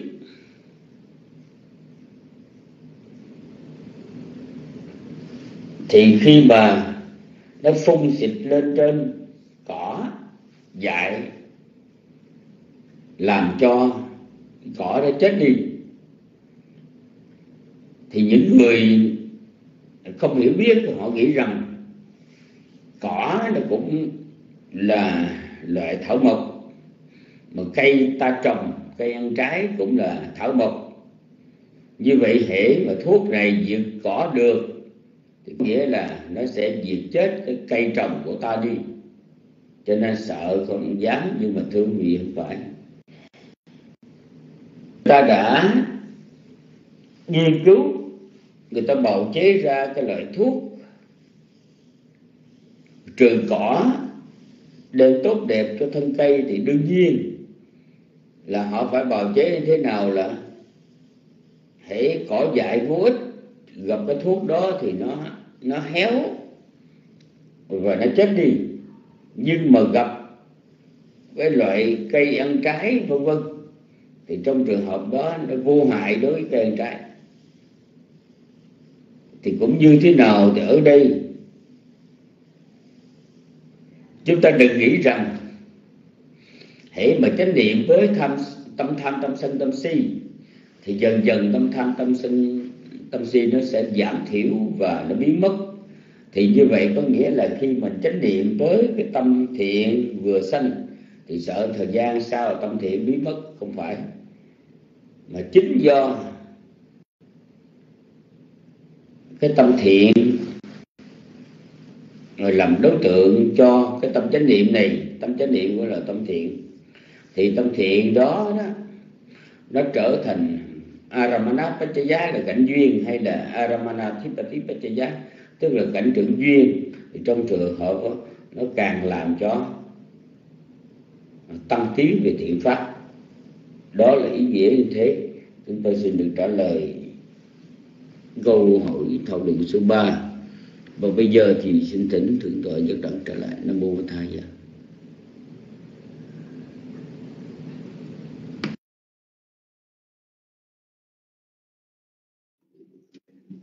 Dạ thưa kính thưa thượng tọa thầy siêu à, xin hỏi thượng tọa thầy siêu một uh, câu nữa rồi à, để thượng tọa suy nghĩ à, chúng ta thấy đức phật ngài dạy tung ra giả Rahula là nên sống thường tự quán à, giống như cái tấm gương à, tấm gương cái tấm kiến để mà mình mình soi mình thấy rõ chính mình. Thì à, cái pháp mà quán uh, cái tự quán chính bản thân mình của tôi giáo Rahula nó, nó có phần nào giống như cái cách mà quán tâm lấy tâm quán tâm ở đây không? À, à, tức là mình quán cái tâm của mình như ở đây không? Hay là cái cái chánh niệm nó hoàn toàn khác với cái chuyện mà mình lượng xét chính mình? Xin ờ, kính thượng thỉnh sư tổ quan hỷ uh, uh, trở lại.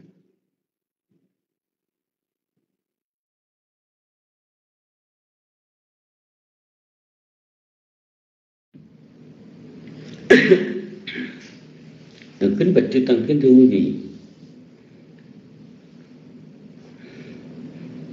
Ờ, pháp ờ, Pachakvekana tức là cái pháp tu phản tỉnh đó, mà Đức Phật ngài dạy cho tôn giả Rahula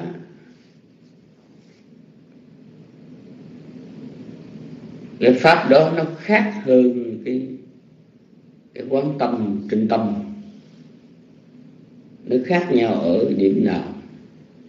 Thưa quý vị, trước hết,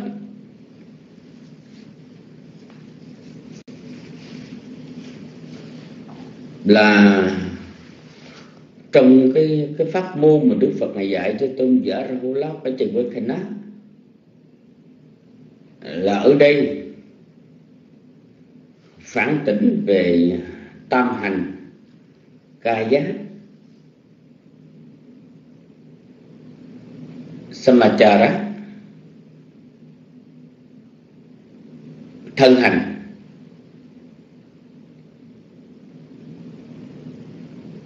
Vachi Samachara là khẩu hành. Và Mano Samachara là ý hành. Còn à,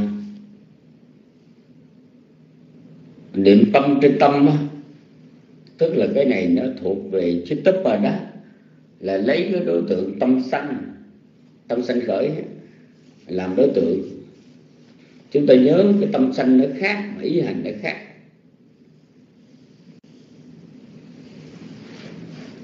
Ý hành.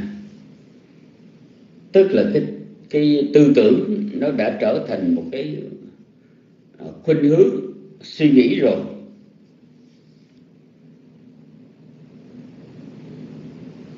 Còn cái tâm sân mà có tham tương ưng hay là có sân tương ưng á, thì cái này chỉ là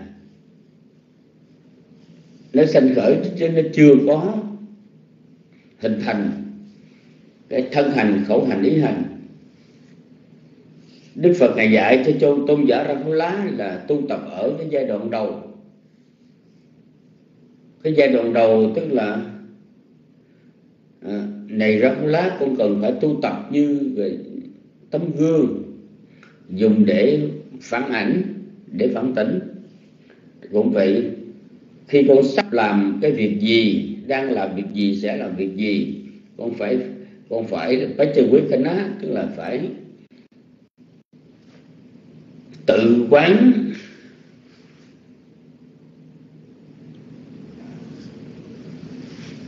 phải tự ờ, uh, quan tưởng tự phản tỉnh. Thân hành này là thiện hay là bất thiện? Tâm hành này nên làm hay không làm, thân hành này đưa đến khổ đau hay đưa đến an lạc, thân hành này được người trí tâm thán hay là người trí quyền quở trách? Sau khi phản tỉnh như vậy, nếu còn biết rõ thân hành này là bất thiện, đưa đến khổ đau bị người trí quở trách thì con phải dừng lại không nên tiếp tục hành động như thế. Khẩu hành tức là nói cũng bị. Khi đã nói lời gì đang nói lời gì và nói lời gì con cần phải phản tỉnh xem có cái lời nói của mình đó tức là ý, khẩu hành đó. Nó thuộc về thiện hay bất thiện đưa đến quả khổ đau hay là đưa đến hạnh phúc được người trí tán thán hay là người trí khỉ trách sau khi quán ờ, phản tỉnh, mà con thấy rõ, biết rõ khẩu hành này, lời nói này là bất thiện, đưa đến sự khổ đau bị người trí quở trách thì con phải dừng lại ngay, không nên nói tiếp tục. Còn về ý hành, sau khi phản tỉnh lại Tôi thấy rõ. Tư tưởng này nó có lợi hay là bất lợi, thuộc về thiện pháp hay ác pháp, đưa đến cái sự khổ đau và hạnh phúc, và cái tư tưởng như vậy được một thiện trí thức tán hay là chỉ chia trách. Sau khi vào tỉnh như thế thì cũng phải đi um, cũng phải ngưng lại. Và ở đây, thưa quý vị, cái điểm khác nhau như vậy tại sao chúng ta nói? Là bởi vì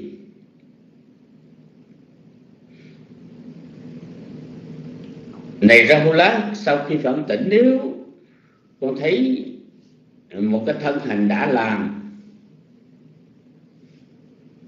mà nó thuộc về bất thiện pháp nhân đương khổ đau bị người trí vỗ trách. Sau khi biết được ta đã là một cái thân hành. Xấu. Thời như vậy không phải đi đến các bậc thầy có trí hay là đàn bạn đồng họ hạnh có trí để uh, phát lộ để sám hối. Nó phu đi quan tôi tôi như vậy nữa về khẩu hành của vị nhưng mà về ý hành thì uh, sau khi nó khởi lên mình biết mình phản tỉnh thấy được cái ý hành này nó thuộc bất thiện pháp đưa đến khổ đau bị người trí quả trách thì con phải tự lập nguyện rằng ta sẽ không suy nghĩ như vậy nữa. Chứ ý hành thì không có sám hối. Bởi vì khi mà chúng ta chỉ mới khởi lên cái tư tưởng quấy mà chúng ta đi đến sám hối như vậy thì suốt cả ngày chúng ta thì chỉ có đi sám hối không bởi vì không có lúc nào mà cái tư tưởng hiện diện được hết ít lắm. Chúng ta còn phạm phu mà đừng nói chi là cái tâm sanh. Không lẽ mỗi khi biết được tâm đang sanh à, có tham có sân rồi cái mình đi sám hối về tham sân si đó hay sao? Cho nên trong trường hợp này thì chúng ta phải hiểu là, là khác nhau. Cái pháp môn tu phản tỉnh tức là để suy xét về cái khía cạnh thiện hay là bất thiện đưa đến hạnh phúc hay đưa đến đau khổ được người trí tán thán hay quở trách là suy xét như thế còn khi mà quán tâm trên tâm á, là chúng ta là vị hành giả chỉ ghi nhận thôi. Tức là đang ngồi vị tâm sân sân khởi biết tâm vừa sân là tâm sân tâm có sân. Hay là tâm si tâm tham sân khởi biết biết rõ đây là tâm có tham chỉ biết như vậy thôi. Rồi trở về cái đề mục chính của mình, chứ không có suy nghĩ thêm gì. Còn trong khi phán tỉnh thì phải suy xét ở những cái khía cạnh như là thiện hay thiện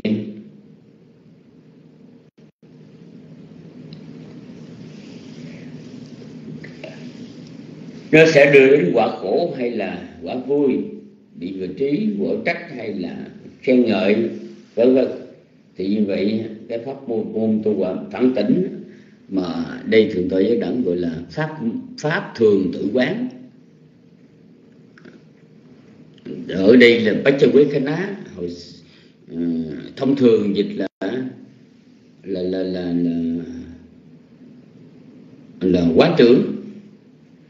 Thì cái pháp mà thường quán tưởng đó hay là thường tự quán, gọi là afin hăng bách quyết afin hăng bách quyết là thường tự quán bởi bậc xuất gia hay người tại gia.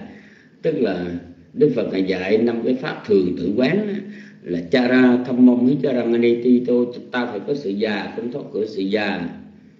Bia thiết thâm mông hít bia thiên aniti tô, ta phải có sự bệnh, không có sự bệnh hay là marna thamam hi marna ne chi tô ta phải có sự chết, không thoát khỏi sự chết. Sắp bê hi mê bi di hi mana bê hi na na tha vui na tha vô ta phải xa lìa. Đối với người thân, người thương, kamas kami kamada ya do kamayudi vân vân. Ta là kẻ thừa tự của nghiệp. Nghiệp là khai tại nghiệp là quý thuộc, nghiệp là chỗ y cứ nếu ta hành động thiện hay bất thiện, ta phải chịu lãnh, ta sẽ thừa hưởng cái hậu quả của nó. Cái đó là năm điều gọi là thường tự quán, hay là năm điều thường quán tưởng, hay là năm điều phải thường phản tỉnh. Còn cái pháp môn mà đức phật này dạy cho tôn giả ra phú lá là cái pháp môn chỉ chỉ gọi là pháp môn phản tỉnh tam hành. Chỉ thôi chúng tôi xin được chia sẻ với quý vị qua cái à, câu hỏi thứ tư. Bây giờ xin thỉnh thượng tọa được đẳng trở lại điều họp cùng với chư tăng. Nam mô bổn thầy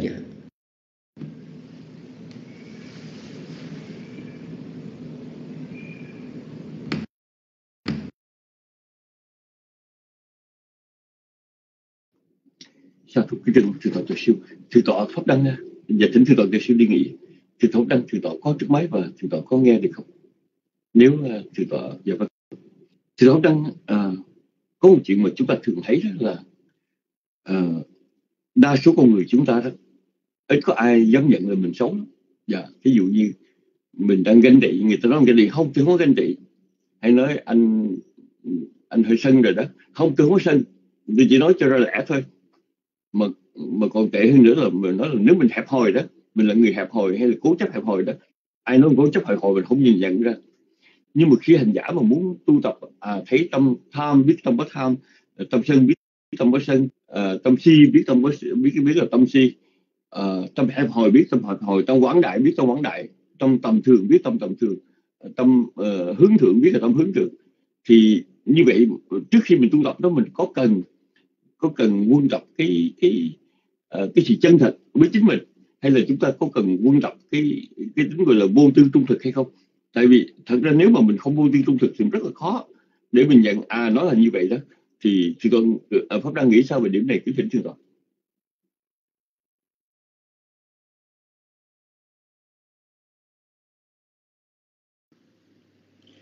Hello. Dạ, yeah, cảm ơn quý vị.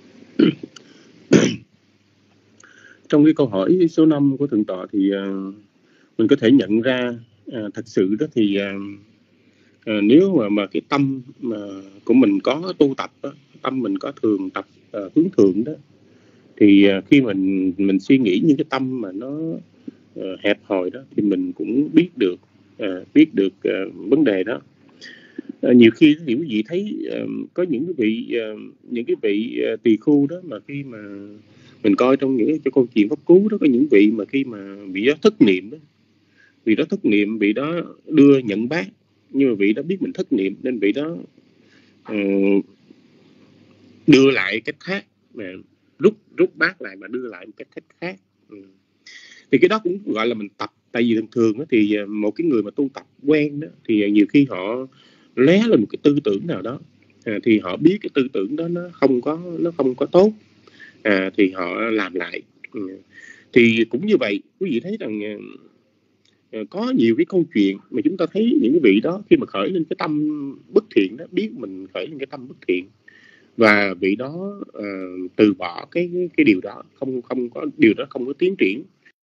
Uh, thường quý vị biết rằng Ờ, khi mà chúng ta mà có một cái tâm mà bất thiện đó thì nó có nhiều lần sanh lên nó, nó mới nó mới tác động cái tâm chúng ta làm việc bất thiện được. Chứ thật sự ra nếu mà cái tâm trước nó khởi lên cái tâm bất thiện và cái tâm sau nó khởi lên tâm thiện nó cứ dần co như vậy chúng ta có thể hiểu như giống như những cái câu chuyện mà ờ, vị bà la môn có có một chiếc y đó có nghĩa là một một chiếc khố mà tự tự tự chiến đấu với nội tâm của mình ờ, từ ờ, đầu canh mà tới cuối canh mới cúng cúng dường được. Thì đó mình là một một cái trạng thái tâm mình nó cứ nó cứ muốn cúng ờ, không muốn cúng muốn cúng không muốn cúng vậy đó. Rồi mình nhiều cái mình suy nghĩ ờ hai vợ chồng mình chỉ có cái khố này đi ra đường thôi. À, bây giờ mình mình cúng dường như vậy thì không biết cái rồi mình sẽ làm sao? Hoặc là mình nghĩ rằng ồ mình cúng vậy không biết người vợ mình có đồng ý hay không? Thành ra mà tự tự cái tâm của mình nó nó uh, khi mình suy nghĩ đến đối tượng này đối tượng kia đó thì nó cứ làm chần chờ chần chờ cái tâm mình như vậy. À, thì cái tâm quảng đại là cái tâm mà mình hiểu cái tâm quảng đại là cái tâm hướng đến cái cảnh thiền quý vị sự đó. Khi mình nói đến thiền niệm thân á, thì ờ, là một cách niệm từ từ. Rồi khi mình niệm thọ niệm tâm á, là một cái một cách tu tập nó nó nó nó nó nó, nó lên cái mức độ cao hơn và cái tâm quảng đại muốn nói là cái tâm nó hướng đến cái cảnh thiền hoặc là hướng đến một cái gì đó nó nó, nó to lớn hơn. À, mà thường thường chúng ta hay nghĩ đến hướng đến uh, cái đối tượng là chúng sanh đó, ừ, hướng đến đối tượng chúng sanh rộng lớn hơn.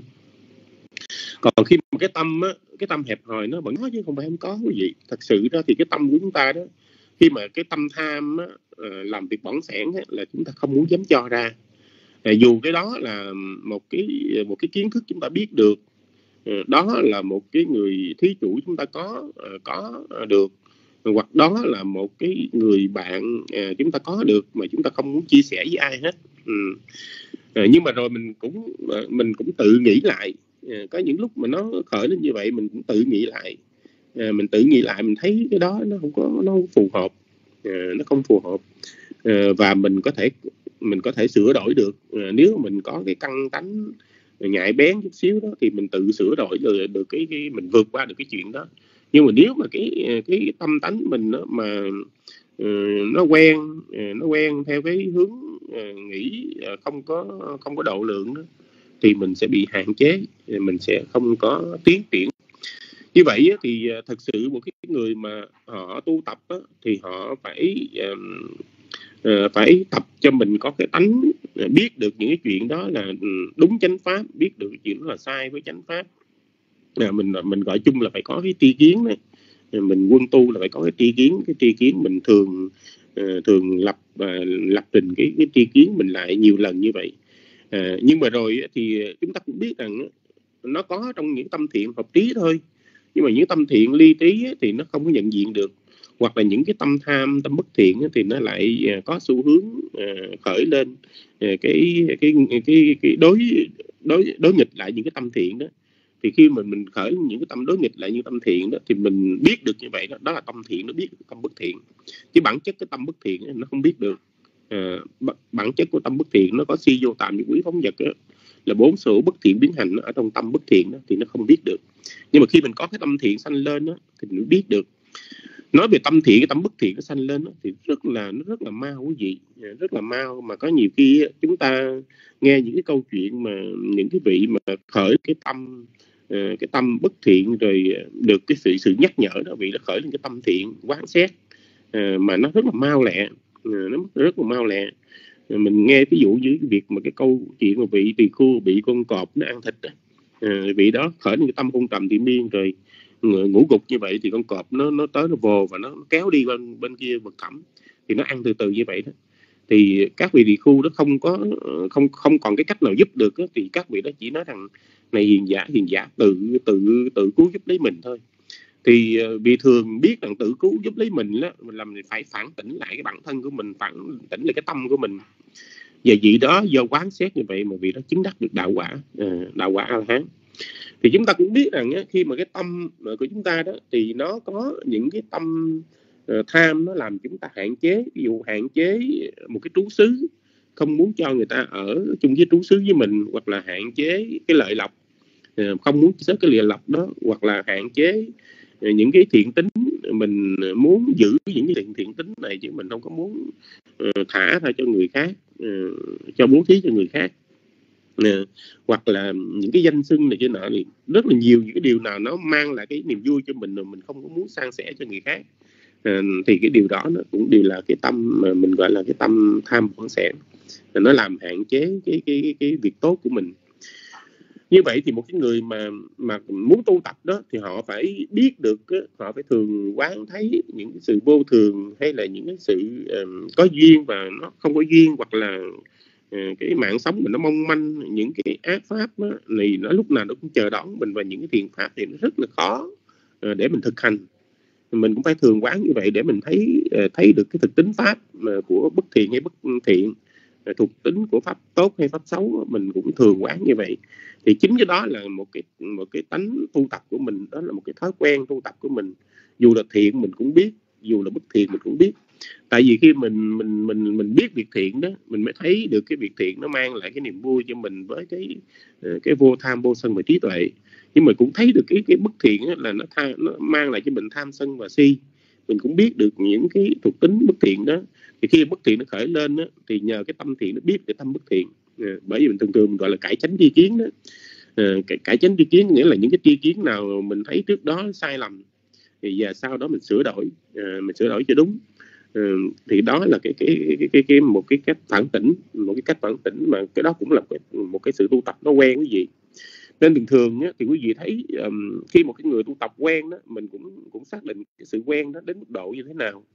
À, có nghĩa là nhiều khi tự tâm mình đó, là mình đã phát hiện được nhưng mà cũng có nhiều khi ta nói lên đó, rồi mình mình khởi tâm hoặc là mình suy nghĩ Phật pháp mình khởi những cái tâm lên thì mình có thể à, có thể à, có thể vượt lên được những cái sự khó khăn của nội tâm ờ, chật hẹp của mình đó. Mình mình hướng lên được à, thì mình mới có cái tâm ờ, tu tập được như vậy thì thường thường quý vị biết rằng cái, cái tâm của chúng ta nó khởi lên nó, nó liên quan đến uh, cái thấy nghe ngửi nếm đụng của mình ờ, từ những cái thói quen từ trước của mình. Nên thường thường những cái thói quen đó nó cũng trở thành những cái ờ, những cái những cái chướng ngại.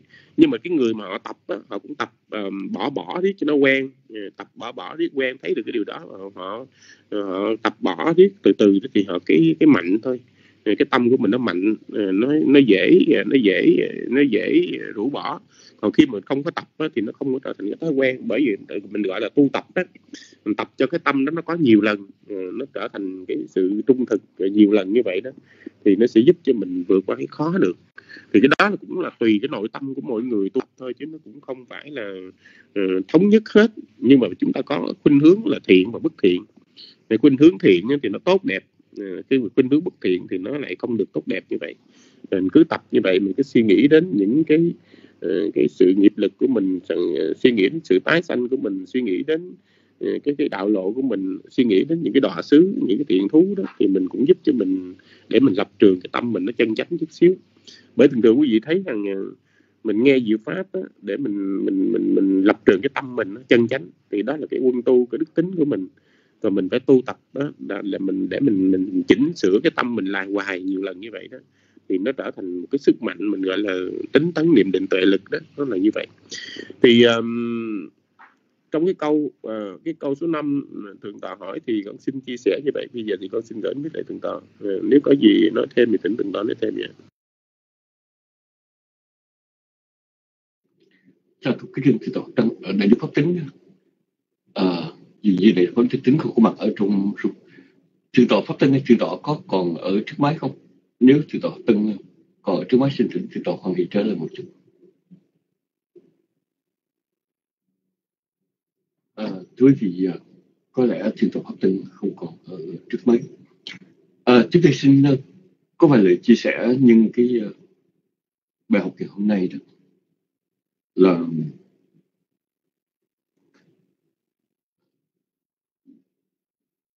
khi mà chúng ta tu tập ờ, uh, cái niệm xứ ở đây có uh, hai cái uh, cách uh, để chánh niệm đối với thân tâm của mình. Một cách chánh niệm uh, trực tiếp và rất là ly chi thí dụ như là mình đang ngồi thiền. Tôi lúc vừa ngồi thiền Ờ, tự nhiên cái tâm mình nó vọng động. À, tâm mình vọng động ở đây là mình nghĩ chuyện gì đó thì mình ghi nhận đó là tâm vọng động hay là tâm không có được. Ngay giờ phút mình đang niệm hơi thở chẳng hạn đó là cách chúng ta niệm mà theo sát.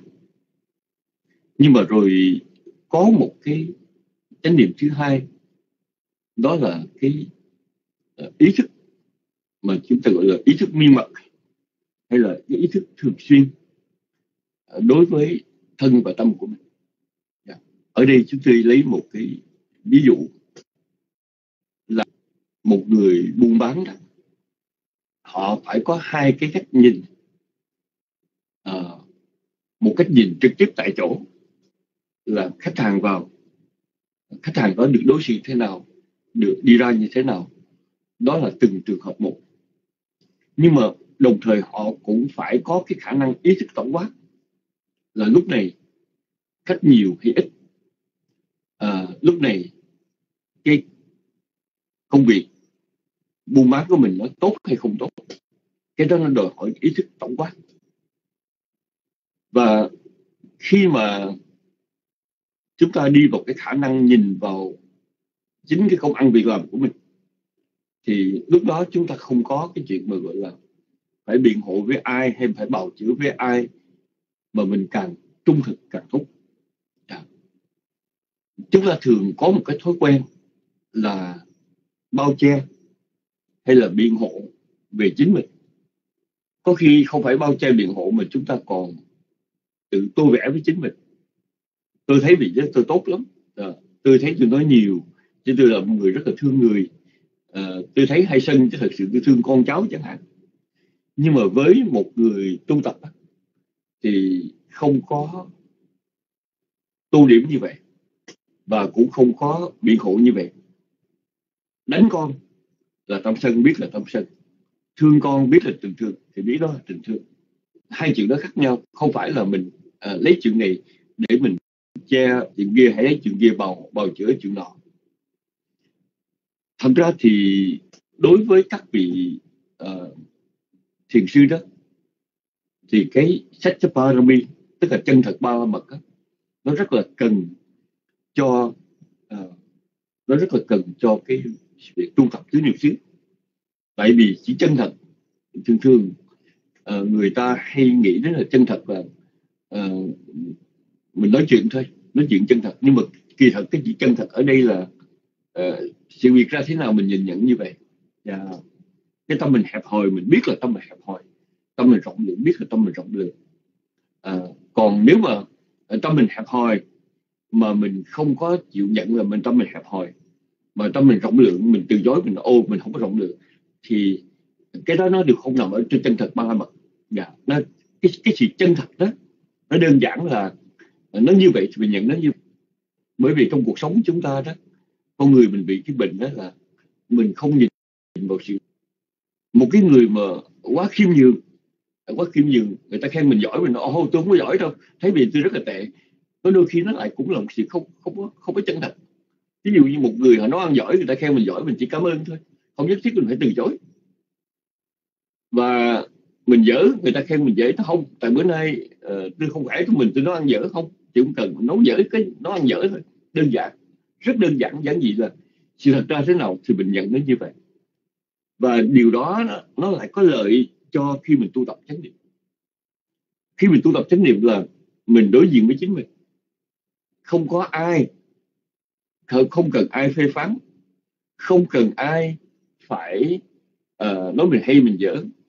Nhưng mà cái chữ, chữ đó nó cái chữ gần nhất của ở đây chúng ta gọi chữ thật thà. Thật thà nghĩa là à, nói như vậy thì xin nhận nó như vậy thì cái đó đó nó lại có một cái nền tảng rất là căn bản của chánh niệm. Và ở trong chánh niệm không cần đi quá, quá xa không cần phải đi quá nhiều để ghi nhận à, như vậy là như vậy thôi. Cái đó là cái rất có lợi. Thì nếu mà chúng ta đọc kỹ ở trong tâm quán niệm xứ đó, thì chúng ta thấy rằng mình niệm tâm không phải chỉ có phiền não mới niệm đâu ờ, không phải chỉ có cái tiêu cực mới niệm đâu mà ngay cả cái tích cực ờ, ngay cả cái tâm ờ, có định Ờ, tâm không có si không có tham à, cái tâm à, vô thượng mình cũng phải biết được. Dạ. cái tự biết đó, đó nó là một một nghệ thuật sống. Nó là một trong những cái tiến bộ rất lớn về mặt tinh thần. Dạ. bởi vì ở trong tất cả những quốc gia phát triển đó, người ta có một điều là người ta hay làm thống kê về dân số. Người ta hay theo dõi tình hình. Tại vì thông thường cái nhìn của chúng ta là cái nhìn rất là chủ quan. Khi mà chúng ta nhìn chủ quan trong sự tiêu cực đó cũng là chủ quan mà chủ quan trong sự tích cực cũng là chủ quan. Vấn đề là nếu chúng ta muốn có một chương trình hành động thực tế hợp lý thì cái nhìn phải khách quan. Không phải là uh, mình nghĩ nghĩ lúc nào cũng quá xấu nghĩ lúc nào quá tốt.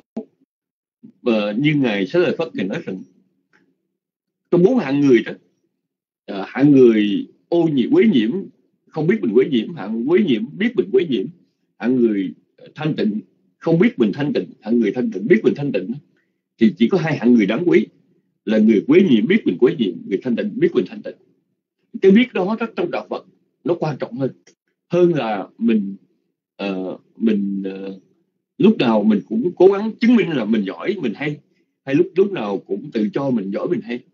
Nó không có chuyện gì cần phải chứng minh hay cần phải dán nhãn cho mình hay cần phải tự đặt cho mình là mình hay mình dở mà vấn đề đơn giản đó là ý thức. Và ý thức này càng trung thực thì chánh niệm của chúng ta càng càng thắp sáng. Cái cái ý thức uh, cái ý thức đó cái cái chánh niệm nó quan trọng lắm. Nên uh, chi uh, khi mà mình tu tập đó, thì phải nói rằng đó là một cái sống thật thà. Dạ chúng ta tạo một thật thà. Uh, cái sống thật thà này đó là nó như vậy đó thì mình biểu hiện nó như vậy. Không thêm không bớt không vẽ rắn thêm chân không tô hồng chút lục và cũng không cần phải nói tôi là hay tôi là giỏi tôi là cao thượng hay tôi thấp hèn. Cái đó không cần. Dạ. ngày uh, khi mà chúng ta bước vào trong trường chùa quán động Pha Phong của ngài Danh cha đó có cái câu mà chúng tôi nhớ là viết ở trên đường đi khất thực vào đó là điều quan trọng trong sự tu tập.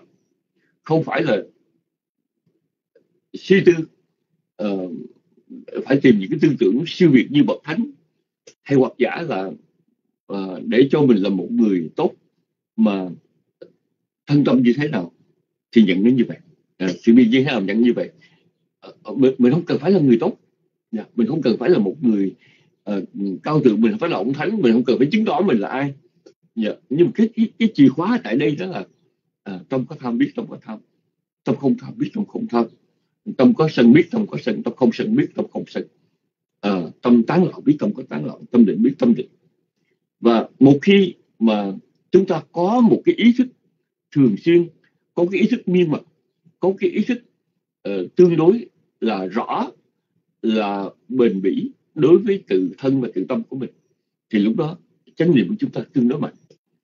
Và lúc bây giờ chúng ta thấy rằng cái cách sống của những người họ hay chứng minh là tôi là ai đó Ờ, tôi thấy vị chứ tôi tốt lắm tôi thấy vị chứ tôi tệ lắm tôi thấy này tôi thấy kia. Cái đó nó không có ở trong tâm người tu tập chánh niệm. Người tu tập chánh niệm không cần uh, nói là tôi là ai mà người tu tập chánh niệm biết rằng à lúc đó tâm uh, thọ đang là thọ ưu thọ uh, thọ khổ, khổ thọ lạc thọ ưu thọ hỷ thọ xã hay là tâm thế nào ghi nhận ghi nhận như vậy thôi. Đây là một trong những cái uh, mấu chốt của chánh niệm chúng tôi xin kết thúc ờ, uh, trình được sinh hoạt hôm nay của room Phật pháp Buddha Dhamma kính trương chư vị giảng sinh đã vào room để thuyết giảng. Đảnh lễ quý ngài. Thân chào tạm biệt quý phật tử. Kính chúc tất cả một ngày an lành một đêm an lành. Hẹn gặp lại trong định ngày mai. Nam mô bổn thầy.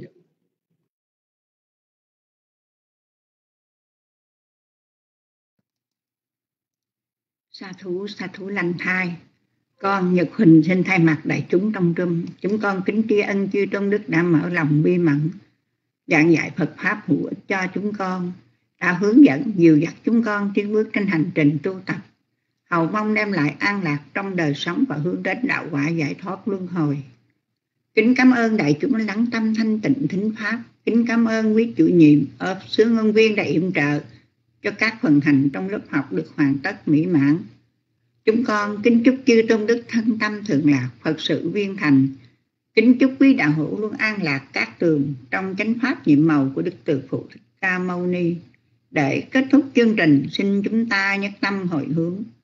Nguyện công đức đã làm, kết duyên lành giải thoát. Nguyện hồi hướng chư thiên hàng thiện thần hộ pháp. Nguyện các bậc hữu ân, đồng thừa tư công đức. Nguyện chánh pháp trường tồn, chúng sanh cầu giải thoát nam mô Bụt tha. Dạ dạ cảm ơn trần đạo và đạo tràng cho nhục bình biết tự tín hiệu.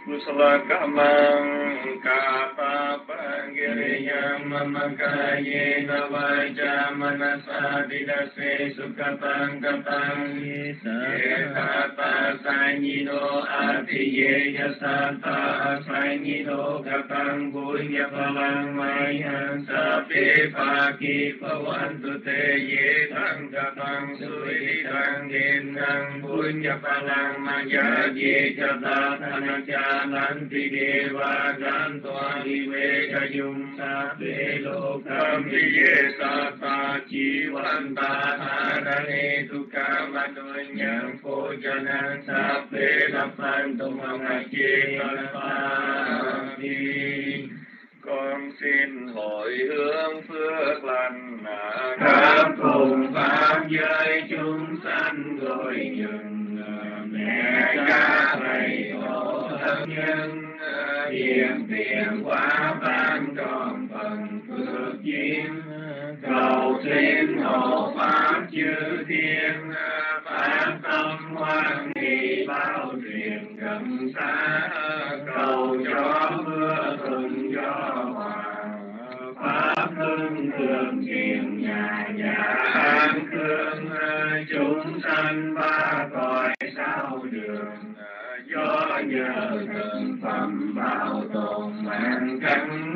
nghiệp thành từ khẩu ý thân ờ, hóa thành khôn quả.